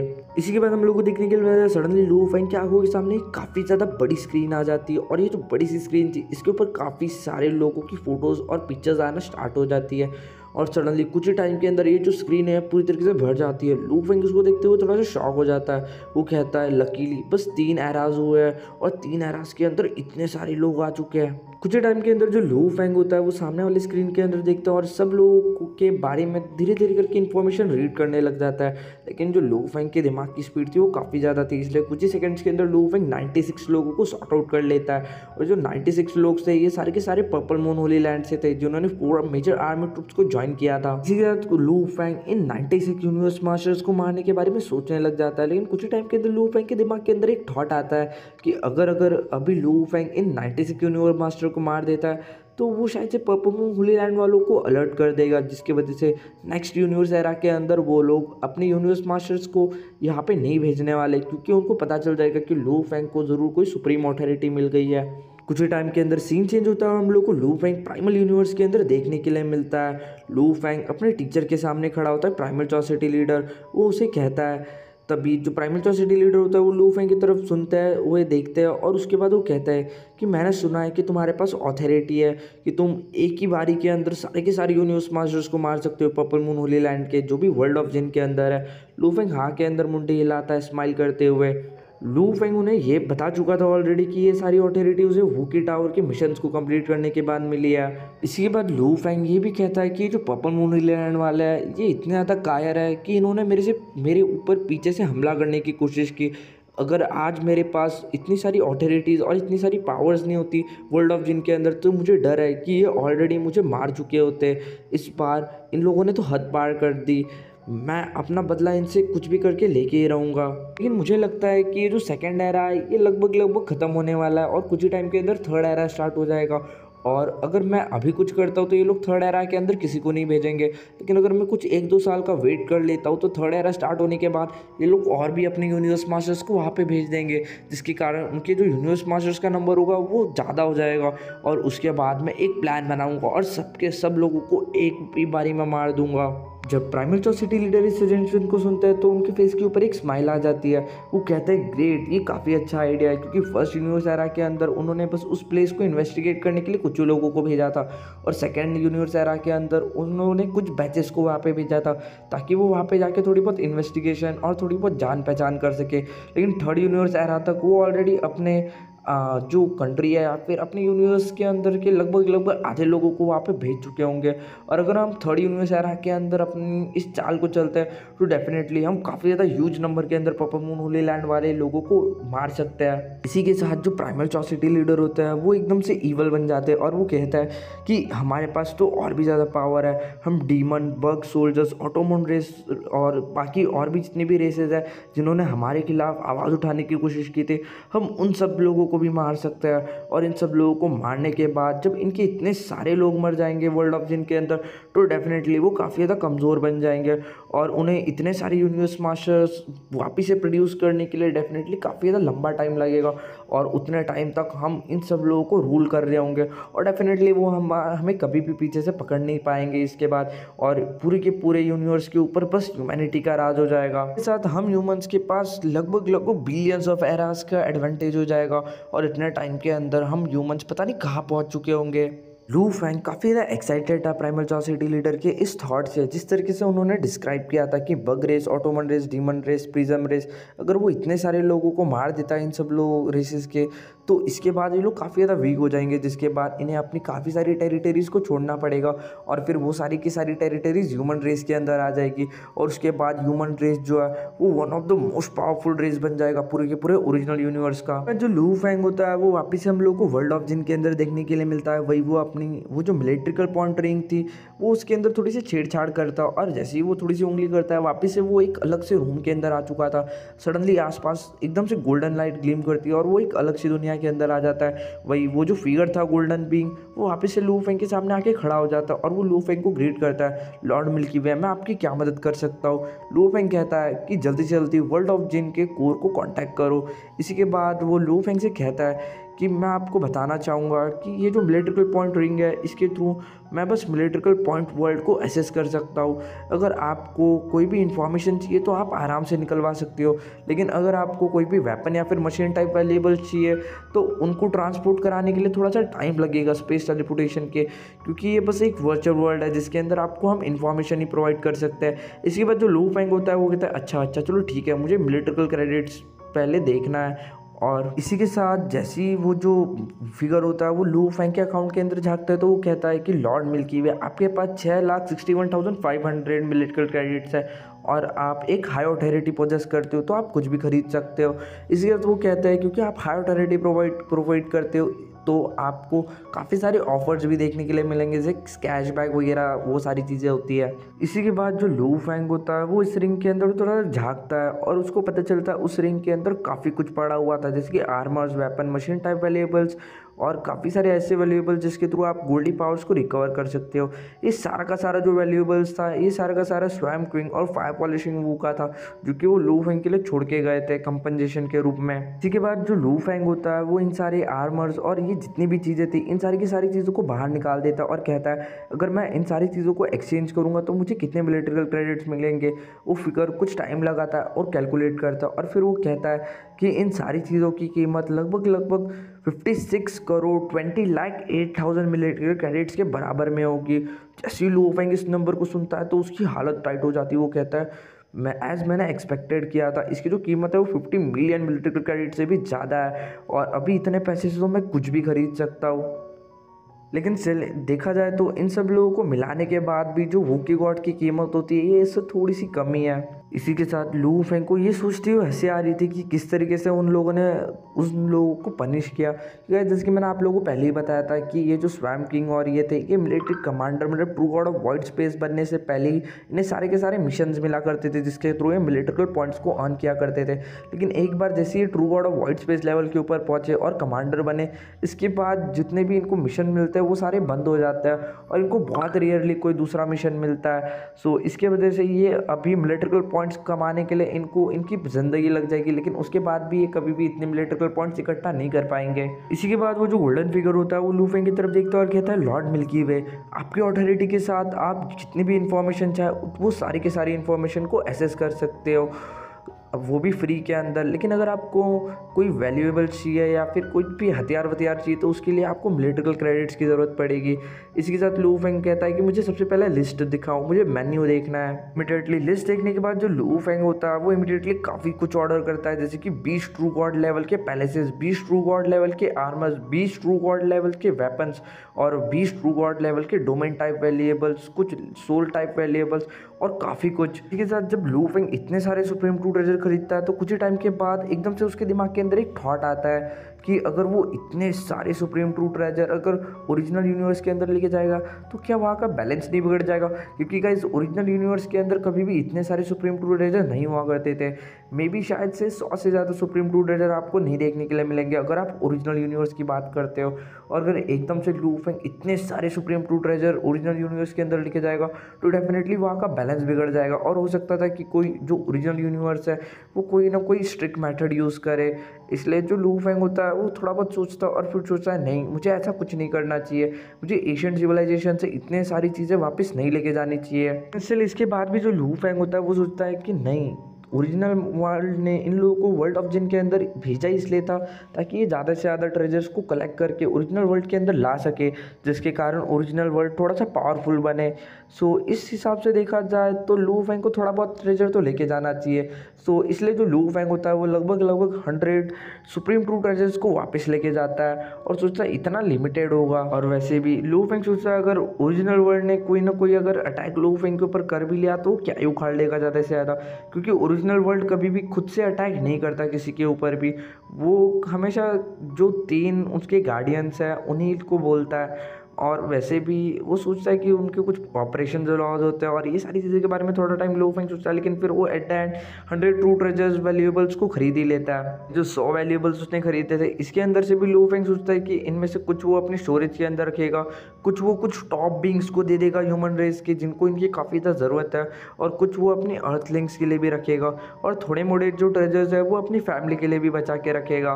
लू फेंग के पास करीब करीब 50 मिलियन इलेक्ट्रिकल क्रेडिट्स के अराउंड थे और 100 ट्रू वर्ल्ड लेवल के वॉलीबल्स खरीदने के बाद लू फेंग के पास अभी भी 47 मिलियन से मतलब कुल मिला के उसने बस 3 मिलियन इलेक्ट्रिकल क्रेडिट्स को खर्च किया था। इसके बाद सीन चेंज होता है, हम लोग को लू फैंग ओरिजिनल यूनिवर्स के अंदर देखने के लिए मिलता है, जहाँ पे वो अपनी शिव विंग्स के ऊपर स्टडी कर रहा था। ये रिमोट ओशन लू फैंग था और जैसे वो अपनी शिव विंग के ऊपर स्टडी कर रहा था सडनली उसे कुछ पता चलता है। वो कहता है फाइनली फाइनली मुझे समझ आ गया। ये जो थर्ड लेवल है, ये इंडीड काफ़ी ज़्यादा कॉम्प्लिकेटेड है और जो नॉर्मल ग्रेड बींग्स है, वो शिव विंग्स के थर्ड लेवल को तभी समझ सकते हैं जब वो ट्रू वर्ड लेवल के ऊपर पहुँच जाए। लेकिन जो लू फैंग था, वो एक लॉ मास्टर मतलब एक यूनिवर्स मास्टर होने के बाद भी इन सब चीज़ों को समझ सकता था, क्योंकि वो बाकी सब लोगों से काफ़ी ज़्यादा अलग था। इसी के बाद सडनली लो फैंग की आँखों के अंदर से दो लाइट की बीम जो होती है, वो उसके सामने दस विंग्स के ऊपर जाके गिरती है और लू फेंग उन विंग्स को कंट्रोल करने लग जाता है। और जैसे ही लू फेंग इन विंग्स के अंदर अपनी एनर्जी मतलब गोल्डी पावर्स को डालता है सडनली उसके अंदर से एक लाइट ग्लेम होने लग जाती है और काफ़ी सारा फॉग जो होता है, वो फैलने लग जाता है। और ये जो फॉग था मतलब ये ब्लैक कलर का फॉग था, जो कि लगभग लगभग one twenty square light years के एरिया के अंदर फैल जाता है। जब लो फेंग इस चीज़ को देखता है तो पूरी तरीके से शॉक हो जाता है क्योंकि ये one thought of white space था। लो फेंग इसके अंदर और भी ज़्यादा पावर डालने की कोशिश करता है। वो और भी ज़्यादा अपनी गोल्डी पावर्स को बर्न करता है और इसको मैक्सिमाइज करने की कोशिश करता है। वो देखना चाहता था कि इसकी कितनी औकात है। मतलब ये कितनी ज़्यादा पावर्स को झेल सकता है और ये कितने ज़्यादा एरिया तक फैल सकता है। कुछ ही टाइम के अंदर लू फेंग को पता चल जाता है कि ये चीज़ कैसे काम करती है। लू फेंग कहता है कि ये one thought of white space है। एक सिंप्लीफाइड वर्जन है one thought of white space का। लू फेंग काफ़ी ज़्यादा खुश हो चुका था क्योंकि इवन ये जो सिंप्लीफाइड वर्जन था, ये भी काफ़ी ज़्यादा कॉम्प्लिकेटेड और काफ़ी ज़्यादा पावरफुल था किसी भी domain type supreme true treasure से लूफेंग सोच रहा होता है कि वो अपने इस ये जो नई अचीवमेंट है या फिर ये जो भी नई चीज़ उसने सीखी है, जो कि one thought of voice space का सिंप्लीफाइड वर्जन है, ये इसको अपने हिसाब से क्या नया नाम थे वो ये सारी चीज़ें सोच ही रहा होता है, तभी सीन चेंज होता है। और हम लोगों को देखने के लिए मिलता है, जहाँ पे लू फैंग अपनी शिव विंग्स की थर्ड लेवल को कॉम्प्रहेंड करने की कोशिश कर रहा था, वही पैथन रिवर आर्मी कैंप के अंदर ईस्ट आर्मी के अंदर दो सोल्जर्स हम लोगों को देखने के लिए मिलता है, जो कि घास के अंदर छुपे हुए थे। वो कहते हैं कि स्वैम क्वीन और वो जो फायर पॉलिशिंग होता, ये दोनों के दोनों गए थे। ये अभी तक नज़र क्यों नहीं आ रहे? ये कहाँ गायब हो गए? क्योंकि उन्होंने स्वयं किंग को वापस जाते हुए नहीं देखा था। और साथ ही साथ उन्हें लू फैंग के मरने की भी कोई न्यूज़ नहीं पता चली थी। एक्चुअल में गाइज़ ये लोग पपल मून होली लैंड से थे। और ये दोनों के दोनों जो सोचते हैं कि अभी हमें कोई भी न्यूज़ नहीं मिली है मिल्की वे के मरने की। हम अपने एनसिस्टर को क्या जवाब देंगे? साथ हम लोगों को पापा मून होली लैंड का सीन दिखाया जाता है, जहाँ पे जो पर्पल मोमोली एंड सिस्टर होते हैं, वो काफ़ी ज़्यादा गुस्से में होता है। वो अपने लोगों से पूछते हैं कि क्या अभी तक कोई न्यूज़ क्यों नहीं मिली? मुझे लो फैंग के मरने की। तभी वो कहते हैं, हम कुछ भी नहीं कर सकते। हमारे जो भी कॉन्टैक्ट्स है, जो दो सोल्जर्स है, जो कि पाइथन रिवर आर्मी के है उनको भी अलाउड नहीं है कि वो पाइथन रिवर आर्मी कैंप के इनर एरिया के अंदर जा सके और ना ही हम उनसे ज़्यादा कोई कम्युनिकेशन वगैरह कर सकते हैं। और रही बात उस पर्सन की चिंगमू की, जिसके साथ हमारे सबसे अच्छे खासे संबंध थे, जो कि स्वयं आर्मी के अंदर था वो अभी ऑलरेडी अपने आप को सेल्फ डिस्ट्रक्ट कर सका है। इसलिए हम ये भी नहीं बता सकते कि जो स्वयं क्वीन है, वो वापस से स्वयं क्वीन आर्मी के अंदर वापस से गई या नहीं गई है। सडनली जो मुर्मू जैसे होता है, वो काफ़ी ज़्यादा शॉक हो जाता है और इसी के साथ उन्हें काफ़ी ज़्यादा गुस्सा भी आ रहा होता है, क्योंकि उनके लगभग लगभग सौ से भी ज़्यादा यूनिवर्स मास्टर थे, जो कि अभी भी उस वर्ल्ड ऑफ़ जिन के अंदर थे, लेकिन उसके बाद भी ये लोग वहाँ पे कोई भी इन्फॉर्मेशन गैदर नहीं कर पा रहे थे। सडनली एक औरत जो होती है, तीन आँखों वाली, वो पपल मून होली एनसिस्टर के सामने आके खड़ी हो जाती है और वो एनसिस्टर को कहती है कि एनसिस्टर अभी अभी एक न्यूज़ मिली है मुझे ओरिजिनल यूनिवर्स से कि जो रिमोट ओशन ब्लू फेंग है, वो अभी भी अलाइव है। इसका मतलब ब्लू फेंग अभी तक नहीं मरा, वो अभी भी ज़िंदा है। इस चीज़ को सुनने के बाद जो एनसिस्टर होता है, वो और भी ज़्यादा इरीटेड हो जाता है। इसी के बाद जो एनसिस्टर होता है, वो चैंगमू से पूछता है चैंगमू का वही बंदा था जिसने अपने आप को सेल्फ डिस्ट्रक्ट कर लिया था, लेकिन उसकी एक बॉडी बाहर भी थी। इसी के बाद जो चैंगमू होता है चैंगमू कहता है कि ऑलरेडी हम, मैं काफ़ी ज़्यादा कमज़ोर हूँ मतलब वो बस एक लॉ मास्टर था तो वो ज़्यादा टॉप सीक्रेट न्यूज़ को एसेस नहीं कर सकता था वर्ल्ड ऑफ़ जिंक के अंदर और ना ही वो स्वैम क्वीन से खुद जाके बात कर सकता था कि आखिर में क्या हुआ, क्यों वो लू फैंग को नहीं मार पाए। अपन एंसिस्टर को समझ नहीं आ रहा था कि आखिर उसके ये सारे प्लान्स फेल कैसे हो रहे हैं। और स्वैम क्वीन ने अभी तक लू फैंग को क्यों नहीं मारा? क्या वो लू फेंग को मार नहीं पाई या फिर वो लू फेंग को मारना नहीं चाहती थी? उन्हें अभी कुछ भी समझ नहीं आ रहा था। वो सोच रहे थे कि लू फेंग ने इतना आसानी से वहाँ के लोकल्स का ट्रस्ट इतने आसानी से कैसे जीत लिया? ज़रूर, इन सब के पीछे कोई ना कोई रीज़न ज़रूर होगा। इसी तरीके से गाइस वक्त बीतता रहता है। लू फैंग ने सोचा था कि पर्पल मूवली लैंड वाले वापस से उसके ऊपर अटैक करने की कोशिश करेंगे, लेकिन ऐसा कुछ भी नहीं होता और थर्ड एरा भी आ जाता है। जैसे ही थर्ड एरा आता है लू फैंग की आँखों के अंदर हम लोगों को एक चमक देखने के लिए मिल सकती थी। वो प्राइमल चौथ सिटी लीडर के साथ खड़ा था। सिटी लीडर लू फैंग से कहते हैं, क्या लू फैंग तुम सच्ची में उतने सारे यूनिवर्स मास्टर को एक ही बारे में मार सकते हो? क्योंकि वो पूरी तरीके से पूरी के पूरे वर्ल्ड ऑफ़ जिनके अंदर अलग अलग जगहों के ऊपर बिखरे हुए रहेंगे।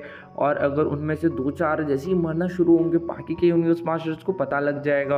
अगर वो पैनिक कर जाते हैं या फिर उनको थोड़ा सा भी पता चल जाता है तो वो तुरंत अपने आप को सेल्फ डिस्ट्रक्ट कर देंगे।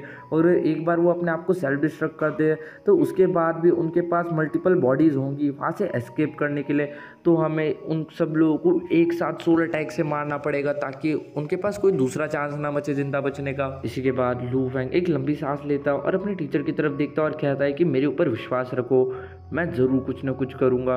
प्राइमल चॉ सिटी लीडर स्माइल करता है और कहता है कि हमें और सबको तुम्हारे ऊपर बहुत अच्छी तरीके से भरोसा है। अपना ख्याल रखना। गाइस हॉन्ग अलायंस से भी पिछले सेकंड यूनिवर्स के अंदर लगभग लगभग थर्टी सिक्स यूनिवर्स मास्टर अंदर गए थे मतलब वर्ल्ड ऑफ़ जिन के अंदर। तो इस बार थर्ड यूनिवर्स एरा के अंदर लगभग लगभग सौ से ज़्यादा यूनिवर्स मास्टर अंदर जाने वाले थे। ऐसे भी अभी लू फेंग वहाँ पे एक सुप्रीम ऑथोरिटी को क्लेम करता था, जिसके कारण लू फेंग ने वहाँ पे काफ़ी सारी इन्फॉर्मेशन और डिटेल्स को निकाल लिया था और ये सारी वो अपने सारे के सारे होंग अलायंस के लोगों के साथ शेयर कर देता है, जिसके कारण अभी उन लोगों को अंदर जाके थोड़ी बहुत जान पहचान करना या फिर वहाँ पर आर्मी वार्मी के अंदर थोड़ा बहुत सिलेक्ट होना आसान हो चुका था। वो ऑलरेडी उन्हीं लोगों को आर्मी में बेचते थे जो कि प्रिपेयर होते थे, क्योंकि आप लोगों को पता होगा कि आर्मी के अंदर भी सब लोग सिलेक्ट नहीं हो पाते। लगभग लगभग नाइन्टी परसेंट लोग इसी तरीके से मारे जाते हैं। लोगों को बक क्लैन देखने के लिए मिलता है, जहाँ पे जो बक क्लैन एम्प्रेस होती है, वो भी अपने काफ़ी सारे लोगों को इस बार इस वर्ल्ड ऑफ़ जिन के अंदर भेजने वाली थी, क्योंकि उनको पता चला था कि हॉन्ग अलायंस के अंदर से भी काफ़ी सारे लोग जा रहे हैं। तो वो सोचते हैं कि हॉन्ग अलायंस से जब इतने सारे लोग जा सकते तो हमारे टीम में से भी या फिर हमारे बग आर्मी के अंदर से भी काफ़ी सारे लोग जा सकते हैं। और अभी वहाँ पे अंदर ज़्यादा प्रॉब्लम्स बची नहीं है। धीरे धीरे करके हम सब कुछ सॉर्ट आउट कर देंगे। और ये हमारी लाइफ टाइम अपॉर्चुनिटी है, ये वापस से शायद से हमें ज़रूर नहीं मिलने वाली और हम लोग अंदर जाके ज़्यादा से ज़्यादा मशीन टाइप वैल्यूबल्स को बाहर लाने की कोशिश करेंगे और जितने मशीन टाइप वैल्यूबल्स हम लोगों को मिलेंगे, उतनी ज़्यादा हम स्ट्रॉन्ग बनते जाएँगे और वर्ल्ड ऑफ़ जिनके थ्रू हम ओरिजिनल यूनिवर्स के अंदर भी ज़्यादा पावरफुल बनते जाएँगे। तो गाइज़ देखा जाए तो बगा आर्मी के अंदर ज़्यादा लोग अभी बचे नहीं हुए थे तो वो बस अपनी तरफ़ से 20 यूनिवर्स मास्टर को भेजते हैं। लेकिन 20 यूनिवर्स मास्टर भी उनके लिए काफ़ी बड़ा नंबर था, क्योंकि वो ऑलरेडी सेकंड यूनिवर्स एरा के अंदर भी कुछ लोगों को भेजे थे अंदर। इसी के साथ हम लोगों को देखने के लिए मिलता है डीमन रेस टेरिटरी के अंदर भी, जो शैक डीमन एंसिस्टर होता है, वो भी अपनी काफ़ी बड़ी फोर्स को अंदर भेजने वाले थे। वो सोचते थे कि वो हमेशा से जो डीमन रेस होता है, वो ह्यूमन रेस से हमेशा से ऊपर था। लेकिन कुछ टाइम के अंदर सडनली सारा का सारा जो खेल है, वो पूरी तरीके से बदल चुका है। लेकिन स्टिल उनके पास अभी भी चांस है। अगर वो वर्ल्ड ऑफ़ जिन की मदद लेते हैं तो वो अभी भी जितनी भी चीज़ें हुई है, उन सारी चीज़ों को बदल सकते हैं। और आखिर में अगर वो पावरफुल बन जाते हैं तो वो एट लास्ट एक जोक नहीं बन के रह जाएँगे ह्यूमन राइट्स के सामने। और इन लोगों का भी बस एक ही टारगेट था कि ये लोग ज़्यादा से ज़्यादा मशीन टाइप वैल्यूबल्स को अपने ओरिजिनल यूनिवर्स के अंदर ला सके। इसी के साथ जो स्पेस बीस अलायंस होता है, वो भी अपनी तरफ़ से और काफ़ी सारे लोगों को भेजता है। और और भी काफ़ी सारे डिफरेंट डिफरेंट रेसेस से काफ़ी सारे लोग अपने लोगों को थर्ड यूनिवर्स एरा के अंदर इस वर्ल्ड ऑफ़ जिन के अंदर भेज रहे थे। सीन शिफ्ट होता है, हम लोगों को थ्री एंसिस्टर गॉड देखने के लिए मिलता है। वो एक जगह पे खड़े थे और उनके ऊपर एक बहुत बड़ा जाइंट वर्पुल हम लोग को रोटेट करते हुए देखने के लिए मिल सकता था। सडनली वो जो जाइंट वर्पुल होता है, उसके अंदर से कुछ लाइट आती है बाहर, जो कि इन तीन एंसिस्टर गॉड्स के ऊपर गिरती है और ये दो, तीनों के तीनों अपने पाँव के ऊपर मतलब अपने घुटनों के ऊपर गिर जाते हैं मतलब नील डाउन हो जाते हैं।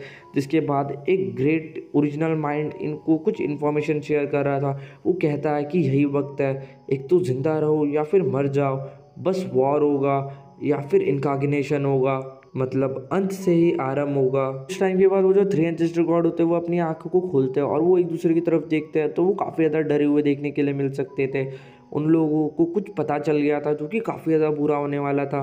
वो आपस में बात करते हैं कि लास्ट टाइम वो काफ़ी ज़्यादा कंफ्यूज थे कि जो ओरिजिनल माइंड है, वो इनको क्यों उस जाइंट ऑब्जेक्ट के अंदर वहाँ पे गाइड कर रहा है? लेकिन अभी उनको पता चलता है कि अगर ओरिजिनल माइंड ने उनको गाइड नहीं किया होता तो ऑलरेडी काफ़ी सारे काउंटलेस ग्रेड बिंग ऑलरेडी मर चुके होते। इससे पहले वो वर्ल्ड ऑफ़ जिन के अंदर पहुँचते और यही सारा रीज़न था इन सारी चीज़ों के पीछे का। और इसी के साथ एक न्यू इनकाग्नेशन एरा भी आने वाला है। डबल फेस एंसिस्टर गॉड काफ़ी ज़्यादा डरे हुए थे। जो इन्फॉर्मेशन अभी उनको मिली थी, उसके साथ वो सोचते हैं कि ये ये डिज़ास्टर है। ये बहुत लंबे टाइम से ही था और पूरी के पूरे यूनिवर्स ओशन के अंदर ये सबसे ज़्यादा मोस्ट मिस्टीरियस है। इसे काफ़ी ज़्यादा मुश्किल है रिस्पेक्ट करना मतलब आगे जाके क्या होने वाला है, इस चीज़ के बारे में इनको भी पूरी तरीके से नहीं पता था। लेकिन जो भी होने वाला है, ये काफ़ी ज़्यादा बड़ा होने वाला है। इवन जो यू जैक्स फाउंडर है, वो भी इंस्टेंटली मारे गए थे इन सब चीज़ों के अंदर। जो वर्ल्ड ऑफ़ जिन है, ये बस एक तरीका है इस बहुत बड़े डिज़ास्टर को रोकने का। चलो, हमें जल्दी से जल्दी पूरे के पूरे ओरिजिनल यूनिवर्स के अंदर सारे के सारे पावर्स को बताना पड़ेगा इन सब चीज़ों के बारे में। वही हम लोग को लू फैंग देखने के लिए मिलता है अपने स्टार टावर के अंदर और उसी के साथ साथ वहाँ पे सिटी लीडर भी थे। जो प्राइम मिनिस्टर सिटी लीडर होता है, वो मन ही मन सोचता है कि जब यूज़ एक्स फाउंडर मरे थे, इसी के बाद उन्होंने सोचा था कि ह्यूमैनिटी के ऊपर एक बहुत बड़ा ये आने वाला है मतलब एक डिज़ास्टर सा आने वाला है और शायद से जो ह्यूमैनिटी है, वो कहीं से कहीं तक नहीं रह जाएगी। लेकिन किसने सोचा था कि लो फैंग एक आशा की उम्मीदों की किरणें लेके आएगा जिसके बाद पूरी तरीके से सब कुछ बदल जाएगा। और आज humanity one of the most powerful है, पूरी की पूरी ओरिजिनल यूनिवर्स के अंदर। और हो सकता है, ये जो प्लान ये लोग यूज़ करने वाले थे, इस थर्ड इंकाग्नेशन आ रहा है के अंदर, जिसके अंदर लूपेंग लगभग लगभग आधे से ज़्यादा लोगों को मारने वाला था, जो कि वर्ल्ड ऑफ़ जिन के अंदर जा रहे थे। इसके बाद जो ह्यूमैनिटी है, उसको कोई भी बीट नहीं कर पाएगा फ्यूचर के अंदर। और वो हमेशा हमेशा के लिए शायद से मोस्ट प्रॉस्पेरियस एक लिविंग सेक्टर बन जाएगा। एमिट्रॉसिटी लीडर और लूफिंग इन सब चीज़ों के बारे में सोच ही रहे होते हैं। काफ़ी सारे लोग नोटिस कर लेते हैं कि स्टार टावर वहाँ पे आ चुका है। मतलब उस बड़े से जाइंट ह्यूमन राइट ऑब्जेक्ट के सामने। और इस बार स्टार टावर के अंदर भी काफ़ी सारे ह्यूमन नाइट थे आई मीन टू से काफ़ी सारे ह्यूमंस थे जो कि इस वर्ल्ड ऑफ़ जिन के अंदर एंटर करने वाले थे।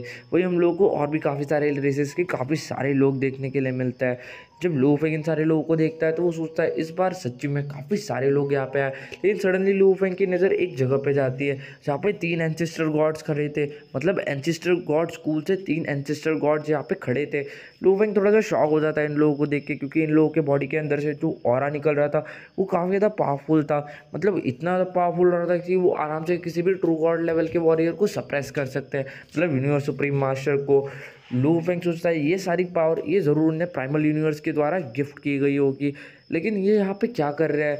अगर ये यहाँ पे आया है तो ज़रूर ये कोई मैसेज लेके आया है। लोफेंग दूर से इन तीनों के तीनों एंसिस्टर गॉड्स को ग्रीट कर देता है, जिसके बाद ये लोग भी लोफेंग के सामने आके अपने मुंडे हिलाते हैं मतलब दूर से ही। और इसी के साथ धीरे धीरे करके काफ़ी सारे लोगों की नज़र उन एंसिस्टर गॉड के ऊपर जाती है।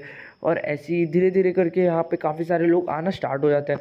कुछ ही टाइम के अंदर यहाँ पे काफ़ी सारे लोग ऑलरेडी गैदर हो चुके थे थ्रू आउट सारे के सारे यूनिवर्स से। लोग बस यही सोच रहे थे कि इस बार ये जो एंसेस्टर गॉड्स है, ये यहाँ पे क्यों है और ये क्या मैसेज लेके आया है जब भी एंसेस्टर गॉड ऐसे बीच बीच में कभी भी टपक जाते थे तो हमेशा वो कोई ना कोई मैसेज लेके आते थे यूनिवर्स से। कुछ ही टाइम के बाद जब काफ़ी सारे लोग ऑलरेडी यहाँ पे आ चुके थे, इसी के बाद जो एंसेस्टर गॉड होता है, वो बोलना शुरू करता है, वो कहते हैं कि जैसे कि हम यहाँ पे आए तो इस चीज़ से आप लोगों ने अंदाज़ा ही लगा लिया होगा कि हम ज़रूर कोई ना कोई मैसेज लेके आए। आप सब लोग सच सही समझ रहे हो। हम सब डेफिनेटली हम तीनों की तरह यहाँ पे तुम्हें एक बहुत ज़रूरी बात बताने आए आप सभी लोगों को। कभी भी सोचा है कि ये जो ये जो बड़ा सा जाइंट ह्यूमनाइड लाइफ फॉर्म है यहाँ पे क्यों लाया गया है?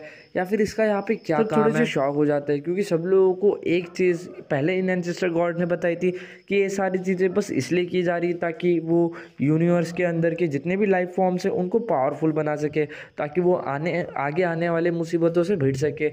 सब लोग इन सब चीज़ों के बारे में सोच ही रहे होते हैं तभी वो कहते हैं अगर पहले अगर हम लोगों ने तुम्हें ये मैसेज नहीं दिया होता या फिर जो प्राइमल यूनिवर्स है, उसने तुम्हें प्राइमल यूनिवर्स के माइंड ने ये मैसेज नहीं दिया था कि आपको किस तरीके से इस बड़े से ह्यूमनाइड लाइफ फॉर्म के अंदर जाना है, किस तरीके से वर्ल्ड ऑफ़ जिन के अंदर जाना है तो शायद से अब तक कितने हज़ारों करोड़ों लोग मारे जा चुके होते। मतलब जैसे कि आज आप लोगों को पता होगा कि इस वर्ल्ड ऑफ़ जिन के अंदर एंटर करने का एक रास्ता होता है कि जब इसकी जो लेयर होती है, वो कुछ वाइट से ब्लैक या फिर ब्लू होती है, तभी आप अंदर जा सकते हो। और इस चीज़ के बारे में अगर इन एंसिस्टर गॉड ने इन लोगों को नहीं बताया होता तो डेफिनेटली काफ़ी सारे लोग मारे जाते हैं इन सारे टेस्ट के अंदर। और इन सारी चीज़ों को लो फैंग भी सुनने के बाद समझता है, वो जानता था कि कहीं ना कहीं ये सारी बातें सही है। अगर उन्हें इन ओरिजिनल माइंड ने ये सारे मैसेजेस नहीं दिए होते तो डेफिनेटली काफ़ी सारे लोग मारे जाते हैं इन सब चीज़ों के अंदर। इसके बाद वो एंजिस्टर गॉड कहता है कि ये सारी जितनी भी चीज़ें, ये सारी चीज़ें देखा जाए तो एक तरीके से प्लान्ड है। इन सारी चीज़ों को यूनिवर्स के द्वारा प्लान किया गया है ओरिजिनल माइंड के द्वारा प्लान किया गया है। ये जाइंट ह्यूमन ऑब्जेक्ट यहाँ पे क्यों आया? किस तरीके से आप लोगों को, आप सभी लोगों को वर्ल्ड ऑफ़ जिन के अंदर जाने का रास्ता बताया गया? ये सारी चीज़ें पूरी तरीके से यूनिवर्स के द्वारा प्लान की गई है। ये यूनिवर्स के रूल्स के खिलाफ है, लेकिन उसके बाद भी यूनिवर्स ने ये सारी चीज़ें की ताकि वो तुम सब लोगों को पावरफुल बना सके। ट्रू बताते हैं कि एक्चुअल में ये सारी चीज़ें इसलिए की जा रही है क्योंकि जल्दी एक बहुत बड़ा कैटास्ट्रॉपी आने वाला है मतलब क़यामत आने वाली है। और जब भी क़यामत आने वाली होती है तो जो यूनिवर्स होती है, वो खुद अपने आप को, जो चीज़ें रूल्स के ख़िलाफ़ भी होती है, उन सारी चीज़ों को भी करना शुरू कर देती है, ताकि वो तुम सभी लोगों को ज़िंदा बचा सके। क्योंकि एट द एंड देखा जाए तो तुम सब लोग यूनिवर्स के बच्चे हो और वो डेफिनेटली एक यूनिवर्स अपने मतलब बच्चों के लिए तो इतना तो कर ही सकती है। जब बाकी सब लोग इस क़यामत के बारे में या फिर इस कैटास्ट्रॉफी के बारे में सुनते हैं तो उनको थोड़ा सा भरोसा नहीं होता, क्योंकि यहाँ पे काफ़ी सारे सुपर पावर्स थे, जैसे लूफिंग और बाकी सब लोग। उन लोगों को ये सारी चीज़ें मज़ाक सी लगती है, या फिर इतना आसान नहीं था उन लोगों के ऊपर, इन सारी चीज़ों के ऊपर भरोसा करना। साथ वो एंजेस्टर गॉड कंटिन्यू करते हैं। कि तुम्हें पता है कि इस पूरे के पूरे ओरिजिनल वर्ल्ड के अंदर मतलब बस दो ही क्यों जो होली लैंड्स है, वो यहाँ पे है। ये ये जो वर्ल्ड है, ये काफ़ी ज़्यादा पह, पुराने टाइम से करोड़ों अरबों नरबों एराज बीत चुके होंगे। और इतने सारे एराज के अंदर तो अभी काफ़ी सारे होली लैंड हो जाने चाहिए थे। तो यहाँ पे बस दो ही होली लैंड्स क्यों हुआ है? इन सारी चीज़ों के ऊपर सब लोग गौर करते हैं, क्योंकि किसी को भी नहीं पता था कि आखिर बस दो ही होली लैंड्स क्यों है। लू भी इस चीज़ से हामी भरता है। कि अब अगर इतना ज़्यादा लंबा टाइम हो चुका है ऑलरेडी यूनिवर्स को बने हुए तो डेफिनेटली यहाँ पे काफ़ी सारे होली लैंड होने चाहिए थे। आखिर यहाँ पे बस दो ही होली लैंड क्यों बचे हुए हैं? इसी के बाद वो ट्रू वर्ड्स कहते हैं ये ऐसा इसलिए है क्योंकि बाकी जितने भी होली लैंड्स थे, वो ऑलरेडी डिस्ट्रॉय हो चुके हैं। यहाँ पे काफ़ी सारे होली लैंड हुआ करते थे, लेकिन वो सारे ऑलरेडी डिस्ट्रॉय हो चुके हैं इसी कैटास्ट्रॉफी के कारण। और एट द एंड बस दो ही होली लैंड इन सब चीज़ों को सर्वाइव कर पाए जितने भी ग्रेट बिंग्स होते हैं, वो पूरी तरीके से शॉक हो जाते हैं, क्योंकि किसी को भी भरोसा नहीं हो रहा था कि होली लैंड डिस्ट्रॉय हो गए। मतलब ये किस तरीके का कैटास्ट्रॉफी होगा? मतलब ये किस तरीके की क़यामत होगी कि लगभग लगभग इतने सारे होली लैंड्स को डिस्ट्रॉय कर दिया और एट द एंड बस दो ही होली लैंड हुए हैं। होता है वो कंटिन्यू करता है और वो कहता है कि प्राइमल यूनिवर्स काफ़ी सारे यूनिवर्स फॉर्म्स को बॉर्न करता है मतलब पैदा करता है ब्रेड करता है। लेकिन इन सारी चीज़ों को पैदा करने के बाद एक चीज़ ऐसी भी होती है जो सारी चीज़ों को ख़त्म करती है। मतलब जैसे कि आप लोगों को पता ही होगा कि किसी चीज़ का अगर अंत होता है तो उस चीज़ का आरंभ भी होता है। जैसे कि आप लोगों को पता होगा कि अगर कोई चीज़ ऐसी है जो कि इन सारी चीज़ों को पैदा कर रही है फॉर्म कर रही है, बना रही है तो दूसरी तरफ़ कोई इसके अपोजिट चीज़ भी होगी जो कि सारी चीज़ों को ख़त्म करती है, जिसको एक तरीके से डिस्ट्रक्शन कहा जाता है। तो वो कहते हैं, इस डिस्ट्रक्शन को हम सेक्टर बीस्ट का नाम देते हैं। ये लोग कहते हैं कि सेक्टर बीस्ट सेक्टर बीस्ट कोई चीज़ नहीं है, या फिर ये कोई ऐसी चीज़ नहीं है, या फिर मतलब कुछ ये यूनिवर्स का नहीं है। एक तरीके से देखा जाए तो ये एक लाइफ फॉर्म है, जिसको प्राइमल यूनिवर्स के द्वारा ही ब्रेड किया जाता है। लेकिन ये जो लाइफ फॉर्म है ये कई हज़ारों करोड़ों मतलब कुछ यूनिवर्स एरास के अंदर एक ही बार ब्रेड होता है और ये इकलौता ऐसा लाइफ फॉर्म है जो कि खुद इतना ज़्यादा पावरफुल है, जिससे इवन प्राइमल यूनिवर्स भी डरता है, क्योंकि इसके अंदर इतनी ज़्यादा पावर है कि इवन ये प्राइमल यूनिवर्स को भी पूरी तरीके से डिस्ट्रॉय कर सकता है। इस चीज़ को सुनने के बाद सबके सब एक बहुत बड़े सदमे में चले जाते हैं। मतलब प्राइमल यूनिवर्स जो कि सारी लाइफ फॉर्म्स को पैदा करता है इवन उसी का पैदा किया हुआ एक लाइफ फॉर्म इतना ज़्यादा पावरफुल है कि वो प्राइमल यूनिवर्स को भी ख़त्म कर सकता है। आखिर ऐसी क्या चीज़ है करके? जिसर गॉड होता है, ये सारे के सारे एक इन्फॉर्मेशन शेयर करना स्टार्ट करता है। ये सेक्टर बीस्ट के बारे में बताना स्टार्ट करते हैं कि जो सेक्टर बीस्ट होते हैं, वो कई हज़ारों अरबों करोड़ों एरास के अंदर एक बार पैदा होते हैं। और जब ये पैदा होते हैं, ये पूरी तरीके से पूरी की पूरी प्राइमल यूनिवर्स को डिस्ट्रॉय कर देते हैं। लेकिन प्राइमल यूनिवर्स के अंदर से जितने भी लाइफ फॉर्म है, वो सारे डिस्ट्रॉय तो हो जाते हैं, लेकिन जो प्राइमल यूनिवर्स है, वो इट भी डिस्ट्रॉय हो जाता है। लेकिन देखा जाए तो ये टेम्प्ररी है, क्योंकि प्राइमल यूनिवर्स डिस्ट्रॉय होने के बाद ओरिजन के अंदर चेंज हो जाता है और कुछ टाइम के बाद वो वापस से प्राइमल यूनिवर्स बन जाता है, जिसके बाद वो वापस से न्यू एक शुरुआत करता है और वापस से लाइफ फॉर्म्स को जनरेट करता है। और यही प्रोसीजर करोड़ों अरबों एरवास के बाद सारे सारे लिविंग फॉर्म्स खत्म हो गए थे बस दो ही होली लैंड बचे और वापस से तुम सब लोगों का जन्म हुआ। मतलब जितने भी यूनिवर्स के अंदर जितने भी लाइफ फॉर्म्स है उन सब का एक बार दोबारा से जन्म हुआ। फाइनली अभी वापस से वक्त आ चुका है कि ये जो इनकाग्नेशन रहा है ये खत्म हो। क्योंकि देखा जाए तो तुम सब लोग इस प्राइमल यूनिवर्स के बच्चे हो इसलिए जो प्राइमल यूनिवर्स है वो अपने आप को डिस्ट्रॉय नहीं होने देना चाहती। और साथ ही साथ वो तुम सभी लोग माउंटेन के सेक्टर बीस के बारे में सुनते हैं तो डेफिनेटली उनके मन में बस यही था कि सेक्टर बीस ये सेक्टर बीस इतने जल्दी कैसे आ सकते हैं? ये बुरा हो रहा है ये काफ़ी ज़्यादा बुरा हो रहा है। मैंने नहीं सोचा था कि ये सब इतना जल्दी हो जाएगा। आप इन सब चीज़ों से एक अंदाज़ा लगा सकते हो कि जो सिटिंग माउंटेन गेस्ट है, उन्हें सेक्टर बीस्ट के बारे में पहले से पता है। इसका मतलब जो सिटिंग माउंटेन गेस्ट है, वो ज़रूर इन सेक्टर बीस्ट को पहले देख चुके होंगे और अगर वो इस सेक्टर बीस्ट को पहले भी देख चुके हैं, इसका मतलब वो पर्पल मून होली लैंड और ईस्ट एम्पर होली लैंड इन सारी चीज़ों से बहुत पहले से ज़िंदा है। इन सब चीज़ों से हमको एक क्लू ये भी मिलता है कि जो सिटिंग माउंटेन गेस्ट है, वो एशियन सिविलाइजेशन से बिलोंग करते हैं। कहीं ना कहीं उन्हें इन सब चीज़ों के बारे में बहुत पहले से पता था और इसी के साथ हम लोग को ये चीज़ भी पता चलती है कि जो सिटिंग माउंटेन गेस्ट है, वो बस एक यूनिवर्स सुप्रीम मास्टर नहीं है। मे भी हो सकता है कि वो काफ़ी ज़्यादा पावरफुल हो, लेकिन वो अपनी पावर्स को हाइड कर रहे हो, क्योंकि अगर वो एशियन सिविलाइजेशन से बिलोंग करते हैं तो डेफिनेटली अब तक तो वो और भी काफ़ी ज़्यादा पावरफुल हो चुके होंगे। सारी चीज़ों को हम एक अलग वीडियो में डिस्कस करेंगे। इसके बाद हम लोग को देखने के लिए मिलता है कि कुछ ही टाइम के बाद ये जो न्यूज़ होती है, ये पर्पल मून हुली लैंड तक भी पहुँच जाती है। जो purple moon holy land ancestor को पता चलता है कि सेक्टर बीस दोबारा से आने वाले हैं तो वो पूरी तरीके से शॉक हो जाते हैं और वो काफ़ी ज़्यादा गुस्सा हो जाते हैं। वो कहते हैं सेक्टर बीस इतनी जल्दी क्यों? ये इतनी जल्दी कैसे आ गए दोबारा से? अभी तक अभी तक तो मैंने true god of white space level तक भी नहीं पहुँचा। ऐसे कैसे हो सकता है करके? वो कहता है कि मुझे जल्द से जल्द true god of white space level तक पहुँचना पड़ेगा, वरना वरना बहुत ज़्यादा मुश्किल हो जाएगा। मैं अपने यूनिवर्स को भी नहीं प्रोटेक्ट कर पाऊँगा। मेरा ये जो मिनीचर यूनिवर्स है मिनिमम अगर मैं true god of white space level तक पहुँच जाता हूँ तो मे भी शायद से मैं अपने यूनिवर्स को तो प्रोटेक्ट कर पाऊँगा। लेकिन अगर मैं उस लेवल तक नहीं पहुँचा तो मेरा मिनीचर यूनिवर्स पूरी तरीके से तबाह हो जाएगा। इस चीज़ से हम लोगों को एक और चीज़ पता चलती है कि जो purple moon holy land ancestor है, ये भी एशियन सिविलाइजेशन से बिलोंग करता है। और मे भी हो सकता है कि ये और भी ज़्यादा पावरफुल हो। मतलब ये जिस तरीके से अभी बोल रहा है कि ये true god of white space level तक जाना जाता है मे भी हो सकता है कि ये true god of white space level को ऑलरेडी रीच कर चुका और ये और भी ज़्यादा पावरफुल हो। लेकिन यहाँ पर ये इसकी कोई दूसरी बॉडी हो। एज लिटरली इन छोटे छोटे टॉपिक्स के ऊपर एक आधे आधे घंटे की वीडियोस बन सकती है, क्योंकि ये काफ़ी ज़्यादा डिटेल और डीप और सीक्रेट मिस्ट्रीज़ है। इन सब चीज़ों के बारे में हम इस सीरीज़ के एंड होने के बाद डिस्कस करेंगे। सिस्टर गॉड इन लोगों को सेक्टर बीस्ट के बारे में और भी बताते हैं कि ये जो सेक्टर बीस्ट होता है, ये अपने इनिशियल फ़ेज़ में काफ़ी ज़्यादा वीक होता है। मतलब सबसे पहले बस एक ही सेक्टर बीस्ट फॉर्म होता है। जो कि काफ़ी ज़्यादा कमज़ोर होता है। लेकिन धीरे धीरे करके ये जो सेक्टर बीस्ट होता है, ये मल्टीप्लाई होते जाता है मल्टीप्लाई हो जाता है और ये लगभग लगभग एक लाख के करीब हो जाता है मतलब एक मिलियन के करीब। और जब ये एक लाख या फिर एक मिलियन होता है, इसी के बाद हम लोग को देखने के लिए मिलता है सडनली इनकी जो ब्रीडिंग होती है, वो रुक जाती है। और इसके बाद ये जो सेक्टर बीस्ट होता है, ये सब अपने इनिशियल फ़ेज़ में है। तो इन सबको मारना थोड़ा सा आसान है। ये अपने इनिशियल फ़ेज़ में सबसे ज़्यादा कमज़ोर होता है। लेकिन इसी के बाद ये जो सेक्टर बीस्ट होते हैं, वो एक दूसरे को खाना शुरू कर देते हैं, एक दूसरे को मारना शुरू कर देते हैं और जैसे जैसे ये एक दूसरे को मारते हैं, वैसे वैसे ये पावरफुल होते जाते हैं और एट द एंड बस एक ही सेक्टर बीस बचता है और जब लास्ट में वो एक सेक्टर बीस बचेगा तो वो एक सेक्टर किंग बन जाएगा, जिसके बाद वो मोस्ट पावरफुल सेक्टर बीस्ट होता है और उस सेक्टर बीस्ट को मारने वाला कोई पूरे दुनिया के अंदर पैदा नहीं हुआ। और हम सभी लोगों को कोशिश करनी है कि इससे पहले कि वो लास्ट स्टेज का सेक्टर बीस्ट पैदा हो, हमें उसे पहले ही मारना पड़ेगा उसके इनिशियल फ़ेज़ में।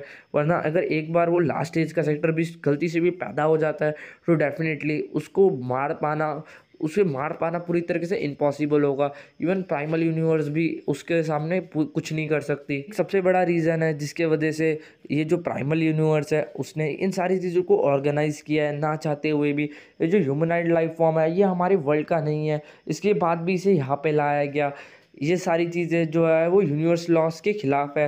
लेकिन इसके बाद भी प्राइमल यूनिवर्स ये सारी चीज़ें कर रही है ताकि वो अपने लाइफ फॉर्म्स को बचा सके, एक मौका दे सके उनके ज़िंदा रहने का। एंड में तुम लोगों से यही कहना चाहूँगा कि ये जो इनकाग्नेशन एरा बचा है, ये लास्ट इनकाग्नेशन एरा है।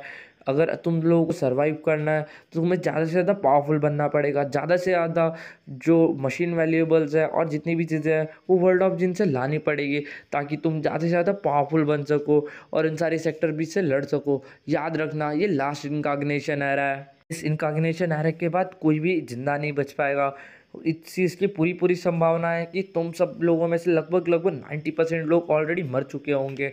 बस बड़ी मुश्किल से टेन परसेंट लोग होंगे जो कि सर्वाइव कर पाएँगे और उनकी भी कोई भी गारंटी नहीं है कि वो सर्वाइव कर पाएँगे, क्योंकि जो सेक्टर बीस्ट है, वो एक ऐसा लाइफ फॉर्म है जो कि पूरी की पूरी लाइफ फॉर्म्स को ख़त्म करने के लिए ही पैदा होता है। जैसे देखा जाए तो एक सेक्टर बीस्ट का काम ही है, उसे डिस्ट्रॉयर कहा जाता है। वो सारे के सारे लाइफ फॉर्म्स को ख़त्म कर देता है और एट द एंड इवन वो प्राइमल यूनिवर्स को भी ख़त्म कर देगा।